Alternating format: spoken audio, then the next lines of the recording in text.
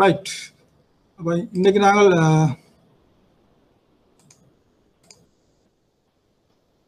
போன class upload பண்ண அதே டியூஸில் நான் இன்றைக்கு சொன்ன யூஆர்சி ஆர்டிகல்ஸை பற்றி பார்க்க போகிறோம் சரியா? உங்களுக்கு தெரியும் இன்டர்நேஷ்னல் ட்ரேடில் நாங்கள் படிக்க போகிற இந்த ரூல்ஸ் இதில் மிகவும் சுலபமான ரூல்ஸ் தான் இந்த கலெக்ஷனோட ஆவண சேகரிப்போட வர இந்த ரூல்ஸ் ரைட் விதிகள். சரியா? உங்களுக்கு ஞாபகம் இருக்கணும் இது விதிகளா? ரூல்ஸ் அதாவது லா இல்லை. இது ஒரு நாட்டின் சட்டம் அல்ல. இது சர்வதேச ரீதியாக ஏற்றுக்கொள்ளப்பட்ட சில ஒழுங்கு விதிகள். சரியா? அப்ப இந்த ஒழுங்கு விதிகளை அந்தந்த நாட்டு சட்டங்கள் ஓவர் ரைட் பண்ணலாம். ரைட் இது பொதுவாக சர்வதேச வியாபாரத்தில் பங்கு கொள்ளும் உறுப்பினர்கள் எவ்வாறு தமது சர்வதேச கொடுக்கல் வாங்கல்களை அந்தந்த கொடுப்பனவு முறைகளின் கீழ் ஆவணங்களை கையாளும் பொழுது எவ்வாறு இந்த விதிகள் பிரயோகிக்கப்படும் என்பதை தான் நாங்கள் இந்த விதிகளின் மூலம் அறிந்து கொள்ள போறோம். ரைட் ரைட் இப்போ நாங்கள் இன்டர்நேஷனல் ட்ரேடில் இன்றைக்கு பார்க்குற முதலாவது rules URC five double two அதுக்கு பிறகு பார்ப்போம் யூசிபி சிக்ஸ் ஹண்ட்ரட் அதுக்கு பிறகு நாங்கள் யூஆர்ஆர் செவன் டூ ஃபைவ் பிறகு இன்கோட்டர்ம்ஸ் டூ தௌசண்ட் டுவெண்ட்டி பிறகு யூஆர்டிஜி செவன் ஃபைவ் எயிட் இதுகள் தான் உங்களோட சிலபஸில் இருக்கிற இன்டர்நேஷனல் ரூல்ஸ் அதை விட இன்டர்நேஷ்னல் ட்ரேடில் இன்னும் பல ரூல்ஸ் இருக்குது அதாவது ஐஎஸ்பிபின்னு சொல்லுவாங்க international standard banking practice ISP international standby practice ninety eight right அந்த மாதிரி uniform rules for forfaiting புதுசாக வந்தது யூஆர்எஃப் எயிட் ஹண்ட்ரட்னு சொல்லுவோம். ரைட் அந்த மாதிரி பலவிதமான இன்டர்நேஷனல் ரூல்ஸ் எல்லாம் இந்த ஐசிசி இன்டர்நேஷனல் சேம்பர் ஆஃப் காமர்ஸ்னு சொல்லுவோம். சர்வதேச வர்த்தக சம்மேளனத்தினால் காலத்திற்கு காலம் பிரசுரிக்கப்பட்டு விநியோகிக்கப்படும் விதிகள். இப்போ இந்த இந்த இன்டர்நேஷனல் ட்ரேடோட தொடர்புடையவர்கள் அனைத்து அனைத்து தரப்பினரும் இந்த விதிகள் தொடர்பாக பூரண அறிவை கொண்டிருத்தல் வேண்டும். ரைட் இப்போ இன்றைக்கு நாங்கள் போன கிளாஸ்ல பார்த்தோம் ஆவண சேகரிப்பு என்றால் என்ன? ரைட் உங்களுக்கு நான் ஒரு ஓவர்வியூ கொண்டு கொடுத்தேன். ரைட் இப்போ இந்த ஆவண சேகரிப்பில் இந்த ஆவணங்களை கையாளும் பொழுது இந்த விதிகளை எவ்வாறு பிரயோகிப்பது? ரைட் பங்கு கொள்ளும் உறுப்பினர்கள் யார்? அந்த உறுப்பினர்களுக்குள்ள கடமைப்பாடுகள் என்ன? ரைட் ஆவணங்கள் எந்தெந்த வடிவத்தில் பெற்றுக்கொள்ளப்படும் பெற்றுக்கொள்ளும் பொழுது அந்த ஆவணங்களை எவ்வாறு கையாள வேண்டும்? வங்கிகளுக்கு பொறுப்பு கூற வேண்டிய விடயங்கள் என்ன? என்ன வகையான ஆவணங்கள் பரிமாற்றிக் கொள்ளப்படும்? ரைட் ஆவணங்களை பரிசோதிக்க வேண்டிய அவசியம் உள்ளதா? ரைட் ஒரு ஆவணத்தின் கீழ் அந்த கொடுப்பனவை மேற்கொள்ளும் பொழுது அந்த கொடுப்பனவு தொடர்பாக நாங்கள் கவனிக்க வேண்டிய விடயங்கள் என்ன? ரைட் அந்த ஆவணத்தை கையாளும் பொழுது உரித்துடைய அந்த கட்டணங்களை யார் செலுத்துவது? இந்த மாதிரி பல விடயங்கள் இந்த விதிகளில் கூறப்பட்டுள்ளது. ரைட் இப்போ இந்த யூஆர்சி ஃபைவ் டபுள் டூவின் நீங்கள் தமிழாக்கங்கள் சில நேரம் வெவ்வேறு இடங்களில் பார்த்துருப்பீங்க. சரியா? என்னுடைய ஸ்ட்ராங் ரெக்கமெண்டேஷன் இந்த ஆங்கில பதிப்பை வடிவாக வாசித்து விளங்கிக் கொள்ளுங்க சில நேரம் உங்களுக்கு எக்ஸாமில் டிரான்ஸ்லேஷன் பிழைகள் வரலாம். ரைட் இப்போ ஒரு பதத்தை நாங்கள் ரெண்டு மூணு பேர் வெவ்வேறு விதமாக அதை டிரான்ஸ்லேட் பண்ணலாம். சில நேரம் அந்த பதம் உங்களுக்கு விளங்காட்டி அந்த இங்கிலீஷ் டெர்மினாலஜி உங்களுக்கு வடிவாக தெரிஞ்சிருந்தா உங்களுக்கு தெரியும். இதுதான் கேட்கப்பட்ட கேள்வி. ஸோ அதான் என்னுடைய ஸ்ட்ராங் ரெக்கமெண்டேஷன் இந்த விதிகள் specially URC five double two UCP six hundred நீங்கள் இந்த ஆங்கில பிரசுரத்தை வடிவாக கவனித்துக் கொள்ள வேண்டும். ரைட் இப்போ இந்த விதிகளில் அனைத்து விதிகளையும் நீங்கள் மனப்பாடம் பண்ண வேண்டிய அவசியம் இல்லை. சரி நான் ஒவ்வொரு ஆர்டிகளையும் போற நேரம் உங்களுக்கு சொல்லுவேன் என்னென்ன முக்கியமான விடயங்களை நீங்கள் முக்கியமாக குறிப்பிட கவனத்தில் எடுத்துக்கொள்ள வேண்டும். ரைட் முக்கியமாக எம்சிக்யூக்கு என்னென்ன ஆர்டிகல்ஸ் உங்களுடைய எக்ஸாமில் கேள்விகள் வரும்? அப்புறம் எஸ்ஏ கேள்விஸில் என்னென்ன ஆர்டிகல்ஸ் கூட உங்களுக்கு எக்ஸாமினர் டெஸ்ட் பண்ணுவேன் ரைட் உங்களோட மெயின் பர்பஸ் உங்களுக்கு இன்டர்நேஷ்னல் ட்ரேட் எக்ஸாம் பாஸ் பண்ணுறது ரைட் நீங்கள் இன்டர்நேஷ்னல் ட்ரேட்லேயே ஒர்க் பண்ணி அதிலே பூரணத்துவம் இல்லாட்டி ஸ்பெஷலைசேஷன் பண்ணுறதுக்கு உங்களுக்கு இந்த இன்டர்நேஷனல் ட்ரேடோடு தொடர்புடைய பலவிதமான கோர்சஸ் இருக்குது ஐபிஎஸ்எல்ல கூட ட்ரேட் டிப்ளமான்னு சொல்லுவோம். பொதுவாக இன்டர்நேஷனல் ட்ரேடில் ஒர்க் பண்ணுறவங்களுக்கு அது ஒரு அடட் பேங்க்ஸ் ப்ரொமோஷன்ஸுக்கு ஒரு அடட் குவாலிஃபிகேஷன் சில பேங்க்ஸ் கூட பாயிண்ட்ஸ் கூட கொடுக்குற இந்த ப்ரொமோஷன் எக்ஸாம்ஸுக்கு ட்ரேட் டிப்ளோமா இப்போ அதை விட நீங்கள் இன்டர்நேஷனல் பேங்க்ஸில் போய் ஒர்க் பண்ணுறதுக்கு ஸ்பெஷலி மிடில் ஈஸ்ட் பார்த்தீங்கன்னா நிறைய ஸ்ரீலங்கன்ஸ் மிடில் ஈஸ்ட் பேங்க்ஸில் இந்த இன்டர்நேஷனல் ட்ரேடில் ஒர்க் பண்ணுவாங்க. அதாவது ஸ்பெஷலி டாக்குமெண்ட் செக்கர்ஸ்னு சொல்லுவோம். இந்த மாதிரி டாக்குமெண்ட் செக் பண்ணுறவங்களுக்கு இந்த ரூல்ஸ் எல்லாம் ஃபிங்கர் டிப்ஸில் இருக்கும். அதுக்கு ஐசிசியால் பலவிதமான குவாலிஃபிகேஷன் இருக்கு.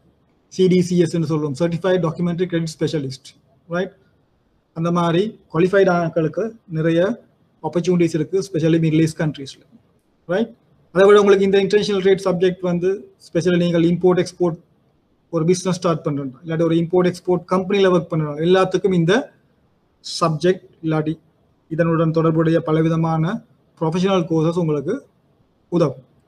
ரைட் உங்களை பொறுத்தவரையில் உங்களுக்கு டிஏபிஎஃப் சப்ஜெக்டை பாஸ் பண்ணுறது தான் உங்களோட மெயின் குறிக்கும் ரைட் அந்த விதத்தில் நாங்கள் எப்படி இந்த ரூல்ஸை உங்களோட எக்ஸாம் ஏற்ற மாதிரி நாங்கள் பார்ப்போம். ரைட் நான் சொன்ன மொத்தம் டுவெண்ட்டி சிக்ஸ் ஆர்டிகல்ஸ் இருபத்தி ஆறு உறுப்புரைகள். ரைட் முதலாவது நான் சொன்னேன் application of URC five double two right யூஆர்சினா uniform rules for collection right அதாவது ஆவண சேகரிப்பு தொடர்பான சர்வதேச ரீதியாக ஏற்றுக்கொள்ளப்பட்ட விதிகள் ரைட் இது கடைசியாக திருத்தப்பட்டது ஆயிரத்தி தொள்ளாயிரத்தி தொண்ணூத்தி ஐந்தாம் ஆண்டு. ஸோ இதுகள் உங்களோட என்சிக்யூல கேட்கலாம். ஸோ இந்த நம்பர்ஸ் நீங்கள் வடிவாக தெரிஞ்சு வச்சுக்கலாம் ரைட் பப்ளிகேஷன் நம்பர் பிரசுரிப்பு இலக்கம் ஐநூற்றி இருபத்தி ரெண்டு இறுதியாக திருத்தி அமைக்கப்பட்ட ஆண்டு ஆயிரத்தி தொள்ளாயிரத்தி தொண்ணூத்தி ஐந்தாம் ஆண்டு ஸோ யூஆர்சியை பொறுத்தவரையில பார்த்தீங்கன்னா அதுல இருந்து விளங்குது உங்களுக்கு இது அதிகளவு மாற்றத்திற்கு உட்படாத விதிகள். சரியா? ரைட் இப்போ இந்த யூனிஃபார்ம் ரூல்ஸ் ஃபார் கலெக்ஷன் அதுதான் ஷார்ட் அண்ட் ஃபார்ம் யூஆர்சின்னு சொல்லுவோம். Nineteen ninety five revision ICC publication number twenty two shall apply to all collection அதாவது அனைத்து விதமான ஆவண சேகரிப்புகளுக்கு. ரைட் நான் சொன்னேன் டாக்குமெண்ட் கலெக்ஷன் நாங்கள் பொதுவாக கலெக்ஷன் சொல்லுவோம். ரைட் கலெக்ஷன் உங்களுக்கு விளங்கணும் ஆவண சேகரிப்பு. பொதுவாக நாங்கள் பேங்க்ல கலெக்ஷன் கலெக்ஷன் ஆவண சேகரிப்பு. எல்சி எல்சின்றா டாக்குமெண்ட் கிரெடிட் ஆவண கடிதம். ரைட் அப்போ அனைத்து விதமான ஆவண சேகரிப்பு கையாள்கையின் பொழுது இந்த விதிகள் பிரசுரி பிரயோகிக்கப்படும். அது கலெக்ஷன் என்றா என்ன? As define in article two நாங்கள் அடுத்த ஆர்டிகல்ல பார்ப்போம். இந்த ஆவண சேகரிப்பு என்றால் என்ன? சரியா? Where such rules are incorporate in text of the collection instruction இதெல்லாம் இதில் நான் போன கிளாஸ்லேயே உங்களுக்கு சொன்னேன். கலெக்ஷன் இன்ஸ்ட்ரக்ஷன் மிக முக்கியமான ஒரு பதம். சேகரிப்பு அறிவுறுத்தல் ஆர்டிகல் ஃபோர்ல பார்ப்போம். இந்த கலெக்ஷன் இன்ஸ்ட்ரக்ஷன் என்றால் என்ன? போன உங்களுக்கு நான் போர்டில் விளங்கப்படுத்தினேன்.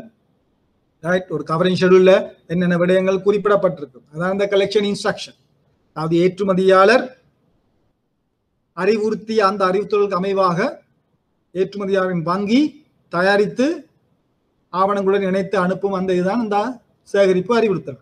Right refer to in article four and are binding on all parties அதாவது என்னது? இந்த ஆவண சேகரிப்பில் பங்கு கொள்ளும் அனைத்து தரப்பினர்களுக்கும் இந்த விதிகள் பிரயோகிக்கப்படும். Right they are to unless otherwise expressly agreed or contrary to the provisions of a national state or local law or regulations which cannot be departed from. Right? So அப்ப இந்த இதுல இருந்து உங்களுக்கு விளங்கணும் யூஆர்சி ஃபைவ் டபுள் டூ இறுதி திருத்தம் nineteen ninety five ஆயிரத்தி தொள்ளாயிரத்தி தொண்ணூத்தி ஐந்தாம் ஆண்டு. ரைட் அதில் ஆவண சேகரிப்பு கையாளும் பொழுது ரைட் அந்த சேகரிப்பு அறிவுறுத்தலுக்கு அமைவாக நீங்கள் அந்த விதிகள் பிரயோகிக்கப்படும். பிறகு இந்த முதலாவது ஆர்டிகல்ல ஆவண பகுதியை பாருங்கள். Bank shall no application to handle either collection or any collection instruction or subsequent related instruction அதில் என்ன விளங்குது? இந்த ஆவண சேகரிப்பை நீங்கள் கட்டாயம் கையாள வேண்டிய கடப்பாடு இல்லை.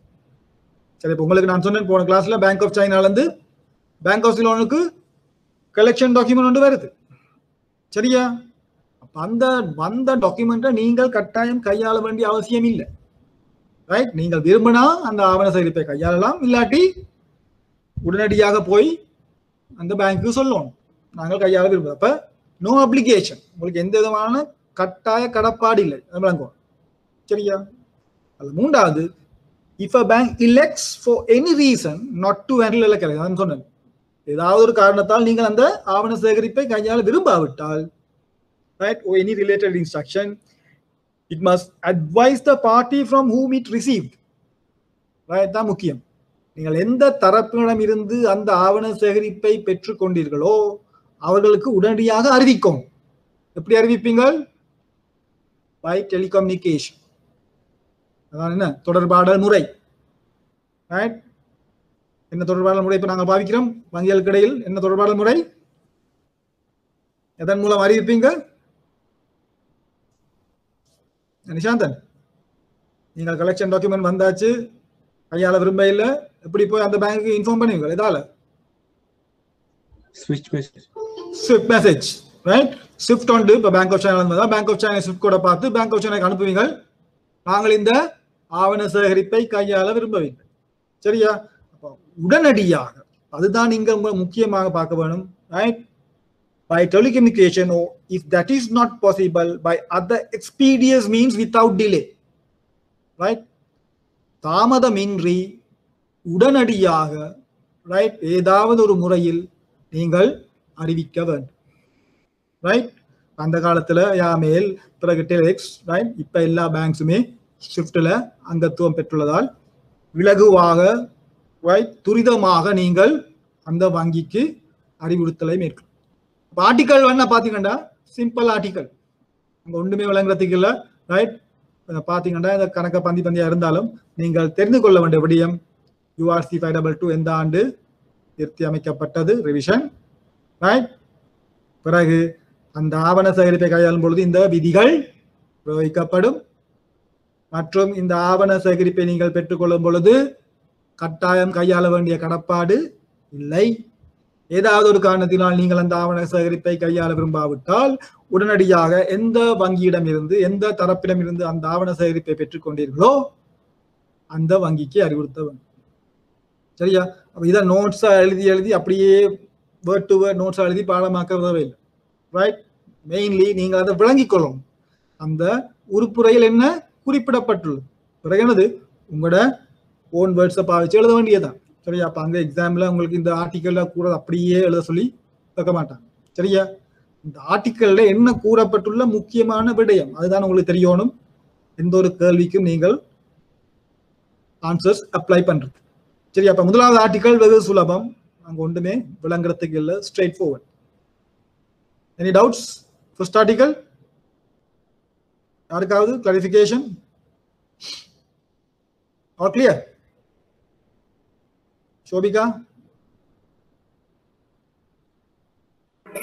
sir. Huh? Clear, right. No. Okay. Article number two மிக முக்கியமான ஒரு ஆர்டிக்கல் ரைட் உங்களுக்கு அடிக்கடி முதலாவது பகுதியில் எம்சிக்யூ ஆகவோ இல்லாட்டி டூ மார்க்ஸுக்குரிய ஒரு கேள்வியாக எழுப்பப்படும் ஒரு ஆர்டிக்கல் ஆர்டிக்கல் டூ ரைட் அதாவது டெஃபினிஷன் ஆஃப் கலெக்ஷன் ஒரு ஆவண சேகரிப்பு தொடர்பான வரைவிலக்கணம் ரைட் இந்த ஒவ்வொரு யூஸ் ஒவ்வொரு ரூல்ஸ்லையும் பார்த்தீங்கன்னா யூசிப்லேயே நாங்கள் பார்ப்போம். ஆர்டிகல் டூ டெஃபினிஷன்ஸ் இப்போ யூஆர்டிஜிலையும் பார்ப்போம். அங்கே ஒரு ஆர்டிகல் டெஃபினிஷன்ஸ் அது வரைவிலக்கணங்கள் ரைட் நாங்கள் இங்கே ஆவண சேகரிப்பை கையாளும் பொழுது அங்கு சில சில சொற்பதங்கள் எவ்வாறு வரையறுக்கப்பட்டுள்ளது? ஸோ அந்த வகையில் உங்களுக்கு முதல்ல கலெக்ஷன் என்ன தெரியும்? அதுதான் இந்த ஆர்டிகல் சொல்லுது. Collection mean the handling by banks of documents நான் சொன்னேன். ஆவண சேகரிப்பு எனது ஆவணங்களை கையாளுவதுதான் வங்கிகளுடைய பொறுப்பு கடமைப்பான் ரைட் அது போஸ்ட் ஆஃபீஸ் மாதிரி. அந்த இருந்து வார டாக்குமெண்ட்ஸை உங்களோட இம்போர்ட்டருக்கு கொடுக்கறது. அது மாதிரி நீங்கள் ஒரு எக்ஸ்போர்ட்டட் டாக்குமெண்ட்ஸ் எடுத்து அங்கால இம்போர்ட்டட் பேங்க்கு அனுப்புறது. அப்ப இங்கே என்னது? Vice versa right import exports ரெண்டு விதமாகவும் நீங்கள் இந்த ஆவண சேகரிப்பை கவனிக்கணும் ரைட் ஒன்று அங்கிருந்து எக்ஸ்போர்ட்டர் ரெமிட்டிங் பேங்க் கூடாக உங்களோட கலெக்டிங் பேங்க் இம்போர்ட்டர் பேங்க்குக்கு வரலாம். அப்போ நீங்கள் இம்போர்ட்டருக்கு டாக்குமெண்ட்ஸை ப்ரெசென்ட் பண்ணுங்க. இல்லாட்டி உங்களோட எக்ஸ்போர்ட்டர் ஸ்ரீலங்கால வேறொரு வேற ஒரு நாட்டுக்கு அனுப்பு நேரம் எக்ஸ்போர்ட்டர் உங்களே கொண்டு வந்து தருவார். அப்போ எக்ஸ்போர்ட்டர் பேங்க் ஆஃப் லோனை கொண்டு வந்து கொடுத்தால் பேங்க் ஆஃப் லோன் தான் ரெமிட்டிங் பேங்க் ரெமிட்டிங் பேங்க் சொல்லுவோம் பேங்க் டாக்குமெண்ட்ஸை துபாய் ஒரு பேங்க் கிடப்புது. அப்போ துபாய் உள்ள பேங்க் தான் கலெக்டிங் பேங்க் அங்க இம்போர்ட்டர் துபாயில இருப்பார் சரியா? அப்ப இம்போர்ட்ஸ் எக்ஸ்போர்ட் இரண்டு விதமாகவும் நீங்கள் இந்த ஆவண சேகரிப்பை கையாள வேண்டும். சரியா? Right is handling by banks as define sub article two B சரி நாங்கள் பார்ப்போம் டூ பி என்ன right in accordance with instructions received right இங்க வங்கிகளுக்கு இந்த சேகரிப்பு தொடர்பாக என்னது? ஒரே ஒரு விடயம் தான் என்னது? அந்த ஆவணங்களை கையாளணும் எப்படி? பெறப்பட்ட அறிவுறுத்தலுக்கு அமைவாங்க நான் சொன்னேன் இந்த ஆவண சேகரிப்புல டாக்குமெண்ட்ஸை செக் பண்ண வேண்டிய அவசியம் பேங்க்ஸுக்கு இல்லை. அப்புறம் நாங்கள் எல்சியில் பார்ப்போம் ஒவ்வொரு டாக்குமெண்ட்டையும் நீங்கள் செக் பண்ண போறீங்க. ஆனால் கலெக்ஷன்ல நீங்கள் டாக்குமெண்ட்ஸை செக் பண்ண போறது இல்லை அங்காலேருந்து வர டாக்குமெண்ட்ஸ் அப்படியே இங்கால கையளிக்க போறீங்க. ரைட் எப்படி கையளிப்பீங்கள்? அந்த அறிவுறுத்தல்களுக்கு அமைவாக. அதான் article four collection instruction right இந்த ரெமிட்டிங் பேங்க் என்ன அவங்களோட கவரிங் ஷெடியூல்ல சொல்றாங்களோ அந்த இன்ஸ்ட்ரக்ஷன்ஸுக்கு அமைவாக நீங்கள் செயற்பட வேணும் அதே ஒரு- ஒரே ஒரு கடமைப்பாடு தான் உங்களுக்கு இருக்கு. அந்த இன்ஸ்ட்ரக்ஷன்ஸுக்கு அமைவாக ஆவணங்களை கையாளும் அதுதான் உங்களுக்கு விளங்கணும். Handling by banks of documents in accordance with instruction receive வேற ரெண்டும் நீங்கள் செய்ய தேவையில்லை. அது என்ன இன்ஸ்ட்ரக்ஷன் சொல்லுது? ரைட் மூன்று விதமான இன்ஸ்ட்ரக்ஷன் ரைட் ஒன்று obtain payment and or acceptance நான் போன முறை உங்களுக்கு சொன்னேன் டிபிடிஏ சரியா? டிபிடா கொடுப்பனவை பெற்றுக்கொள்ள வேண்டும். டிஏடா ஏற்றுக்கொள்ளலை பெற்றுக்கொள்ள வேண்டும். இப்போ அந்த ரெண்டு விதத்தில் ஏதாவது ஒரு விதத்தில் தான் உங்களுக்கு ஆவண சேகரிப்பு வரப்போம் இப்போ அதான் சொல்லியிருக்கு. அப்டெயின் பேமெண்ட் ஓ எக்ஸெப்டன்ஸ் ஒன்று கொடுப்பனவை பெற்றுக்கொள்ள வேண்டும் அல்லது ஏற்றுக்கொள்ளலை பெற்றுக்கொள்ள வேண்டும். ரெண்டாவது deliver documents against payment or accept against accept உங்களுக்கு ஆவணங்கள் பெற்றுக்கொண்டவுடன் அதை கொடுப்பனவுக்கு எதிராக நீங்கள் ஆவணங்களை விடுவிக்கணும் இல்லாட்டி ஏற்றுக்கொள்ளலுக்கு எதிராக ஆவணங்களை விடுவிக்கும். மூன்றாவதுக்கு deliver documents on other terms and conditions இப்போ சில நேரம் உங்களுக்கு ஒரு கவரிங் இல்லை ரெண்டும் மிக்ஸ் பண்ணி வரலாம். Fifty percent DP fifty percent DA அப்போ நீங்கள் ஐம்பது வீதம் கொடுப்பனவை பெற்றுக்கொண்டு ஐம்பது வீதம் ஏற்றுக்கொள்ளலை ஏற்றுக்கொண்டு நீங்கள் ஆவணங்களை விடுவிக்கலாம். இப்போ இந்த எல்லாமே அந்த கலெக்ஷன் இன்ஸ்ட்ரக்ஷன்ல என்ன சொல்லியிருக்குன்னு நீங்கள் எடுத்தோன்னே வாசிக்கும். சரியா? அப்ப இங்க ஒன்றும் பெருசா நீங்கள் ஒன்றும் ஆஹ், பார்க்க வேண்டிய அவசியம் இல்லை. அந்த கவரிங் ஷெடியூல்ல என்ன சொல்லியிருக்கு? அப்ப மேல இருந்து கீழே வரைக்கும் நீங்கள் இன்ஸ்ட்ரக்ஷன்ஸை வாசிக்கும். இந்த இன்ஸ்ட்ரக்ஷன்ஸை வழியா வாசிச்சு என்ன சொல்லியிருக்காங்களோ அதுக்கேற்ற மாதிரி நீங்கள் ஆவணங்களை கையா ரைட் இப்போ இதுதான் ஆர்டிகல் டூ கலெக்ஷன் என்று சொல்லியிருக்கு. ரைட் கலெக்ஷன் கலெக்ஷன் என்னன்னு கேட்டால் நீங்கள் உங்களுக்கு நேரம் சேகரிப்பு என்றால் என்ன? யூஆர்சி ஃபைவ் டபுள் டூ விதிகளின் பிரகாரம் சேகரிப்பு என்றால் என்ன? சரியா? இப்போ நீங்கள் நாளைக்கு எக்ஸாம்பிள் ஆன்சர் பண்ணுற நேரம் ரைட் நீங்கள் ரெண்டு விதமாக ஆன்சர் பண்ணலாம். ஒன்று பெஸ்ட் வே டு ஆன்சர் தான் என்னது? நீங்கள் இன்டர்நேஷனல் ட்ரேட் சப்ஜெக்ட்ஸ் படிக்கிறீங்க. ரைட் அப்போ நீங்கள் உங்களோட ஆன்சர் எழுதுகிற நேரம் ரைட் நீங்கள் எழுதுறதுக்கு சிறந்த முறை என்னது? உங்களுக்கு தெரியும்? கலெக்ஷன் டெஃபினிஷன் உங்களுக்கு தெரியும் ஆர்டிகல் டூ அப்ப எழுதணும் எப்படி யூஆர்சி ஃபைவ் டபுள் டூ விதிகளின் உறுப்புரை இரண்டிற்கு அமைவாக. Right as article two right இந்த மூன்று விடயத்தையும் சொல்லணும். சேகரிப்பு என்றால் என்ன சில நேரம் சில ஆர்டிகல்ஸ் உங்களுக்கு மறந்திருக்கலாம். ரைட் ஆர்டிகல்ஸ் மறந்திருந்தால் சும்மா அங்க போய் தெரியாத பிள்ளையான ஒரு ஆர்டிக்கலை போய் கோட் பண்றது இல்லை. அப்படி ஒரு ஆர்டிக்கல் உங்களுக்கு ஞாபகம் இல்லாட்டி அந்த ஆர்டிக்கல் இருக்கிற அந்த விடயத்தை மட்டும் நீங்கள் குறிப்பிட்டால் போதும். உங்களுக்கு இந்த ஆர்டிகல் டூ ஞாபகம் வராம ரைட் கலெக்ஷன் என்னன்னு தெரியுது சரியா? இப்போ நீங்கள் கலெக்ஷன் என்னென்று எழுதினால் போதும். அதுக்காக பிள்ளையான ஆர்டிக்கலை போய் கோட் பண்ணாமல் ஆர்டிக்கல் சரியா தெரிஞ்சிருந்தால் அந்த ஆர்டிக்கல் நம்பரை கோட் பண்ணி எழுதுற நேரமே எக்ஸாமினருக்கு தெரியும். உங்களுக்கு இன்டர்நேஷனல் சப்ஜெக்ட் படிக்க ஸ்டூடெண்ட் ரைட் அதான் நீங்கள் எப்போ சப்ஜெக்டை படிக்கிற கூட இந்த ஆர்டிகல்ஸோட இன்வால்வ் பண்ணிக்கணும் சரியா? அப்போ உங்களுக்கு கேள்விகளையும் பார்க்கிற உங்களுக்கு விளங்கும். ஒன்று ஆர்டிக்கலை கோட் பண்ணி கேள்விகள் வரும். இல்லாட்டி அந்த கேள்விகள் கேட்கிற நேரம் உங்களுக்கு அந்த ஆர்டிக்கல் ஞாபகம் உடனே தெரியும் அந்த ஆர்டிக்கல் என்ன சொல்லியிருக்கு. சரியா? ரைட் அப்ப ஆர்டிக்கல் இரண்டு இந்த வரைவிலக்கணங்களின் கீழ் முதலாவது நாங்கள் சேகரிப்புண்டா என்னன்னு பார்த்தோம். அடுத்தது இந்த டாக்குமெண்ட்ஸ் தொடர்பாக ஒரு வரைவிலக்கணம். ஆவணங்கள் என்றால் என்ன? சரியா? அதான் டூ பி சொல்லுது. Documents means financial documents and though commercial document அதாவது ஆவணங்கள் என்பது ஒன்று வர்த்தக ஆவணங்கள் அல்லது நிதியியல் ஆவணம் இப்ப நான் உங்களுக்கு தமிழ்ல இந்த அனைத்து விதிகள் தொடர்பாக ஒரு நோட்டு நான் அப்லோட் பண்ணி விடுறேன். ரைட் ரைட் அப்ப ஆவணங்கள் ரெண்டு வகைப்படும். அது உங்களுக்கு தெரியணும். இந்த ஆவண சேகரிப்பின் கீழ் நாங்கள் கையாளும் ஆவணங்கள் ரெண்டு வகைப்படும்.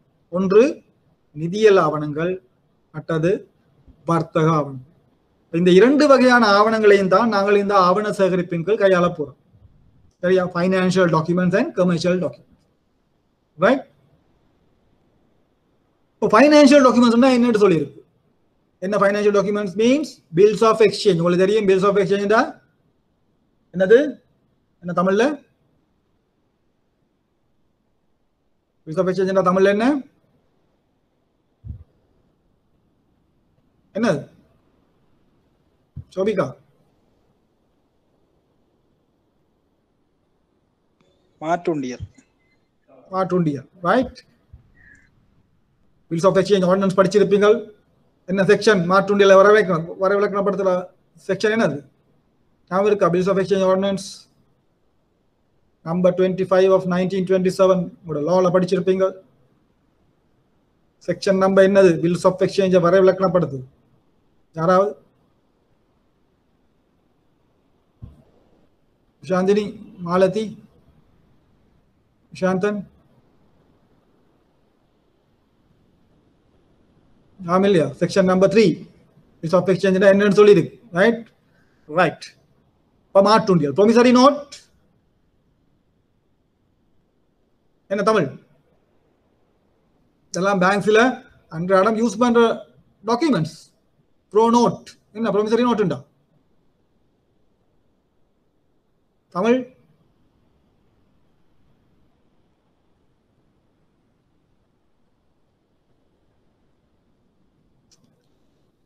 என்ன தர்ஷந்த் வாக்குறுதி பத்திரம் வாக்குறுதி பத்திரம் குட் ரைட் ப்ராமிசரி நோட்ஸ் வாக்குறுதி பத்திரம் செக்ஸ் காசோலை other similar instruments use for obtaining the payment of money அப்ப பணத்தை பெற்றுக்கொள்வதற்காக நாங்கள் பயன்படுத்தும் ஆவணங்கள் தான் இந்த நிதியியல் ஆவணங்கள். அப்ப இதுல ஏதாவது ஒரு நிதியியல் ஆவணமாக இருக்கும்.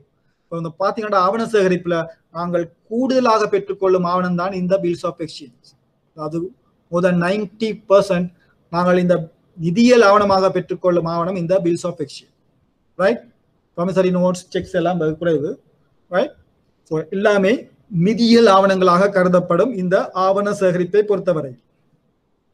கமர்ஷியல் டாக்குமெண்ட்ஸ் மீன்ஸ் இன்வாய்சஸ் என்னது? வர்த்தக பத்திரம் வர்த்தக விலைப்பட்டியல் சரி வர்த்தக விலைப்பட்டியல் டிரான்ஸ்போர்ட் டாக்குமெண்ட்ஸ் உங்களுடைய போக்குவரத்து ஆவணங்கள் டாக்குமெண்ட்ஸ் ஆஃப் டைட்டில் ரைட் உரித்துடைமை ஆவணங்கள் or other similar documents or any other documents whatsoever not being financial அதாவது வர்த்தக ஆவணங்கள் கேட்டா என்னது உண்மையில? நிதியியல் ஆவணங்கள் தவிர்ந்த அனைத்து ஆவணங்களும். அதாவது விலைப்பட்டியல் போக்குவரத்து ஆவணங்கள் காப்புறுதி பத்திரம் எல்லாம் போன்ற அனைத்து விதமான ஆவணங்களும் நாங்கள் சொல்லுவோம். கமர்ஷியல் டாக்குமெண்ட்ஸ் இது உங்களோட எக்ஸாம்ல வர அடிக்கடி ஒரு கேள்வி. ரைட் வர்த்தக யூஆர்சியின் கீழ் வர்த்தக ஆவணங்கள் என்ப என்பதால் யாது விளங்குகிறீர்? ரைட் இப்போ நீங்கள் சொல்லணும் என்னது? நீங்கள் வெரி நல்ல ஸ்மார்ட் இந்த ஆர்டிகல்ஸ் எல்லாம் வடிவா தெரிஞ்சு ஸ்மார்ட்டா இருந்தால் எப்படி எழுதுவீங்களா answer URC five double two right விதிகளின் உறுப்புரை இரண்டு ரைட் ஆவண்ணாவிற்கு அமைவ ரைட் உறுப்புரை இரண்டு பீண்டா என்னது? ஆவண்ணா ரைட் ரெண்டு ஆவண்ணாவிற்கு அமைவாக நிதியியல் ஆவணங்கள் தவிர்ந்த நிதியியல் ஆவணங்கள் தவிர்ந்த வர்த்தக விலைப்பட்டியல் போக்குவரத்து ஆவணங்கள் போன்ற ஆவணங்களை நாங்கள் வர்த்தக ஆவணங்களாக கருதுவோம். சரியா? உங்களுக்கு சரியா? சப் ஆர்டிகளும் தெரியாட்டி right at least article two நீங்கள் கோட் பண்ணலாம். ஆர்டிகல் டூ உங்களுக்கு ஞாபகம் வராட்டி ரைட் அட்லீஸ்ட் நீங்கள் எழுதுகிறத வடிவா எழுதுவோம். ரைட் ஆர்டிக்கலை கோட் பண்ண பிள்ளையாக கோட் பண்ணாமல் ஆர்டிக்கலும் தெரியாட்டி நீங்கள் சொல்லலாம் என்னது? நிதியல் ஆவணங்கள் தவிர்ந்த அனைத்து ஆவணங்களும் வர்த்தக ஆவணங்கள்.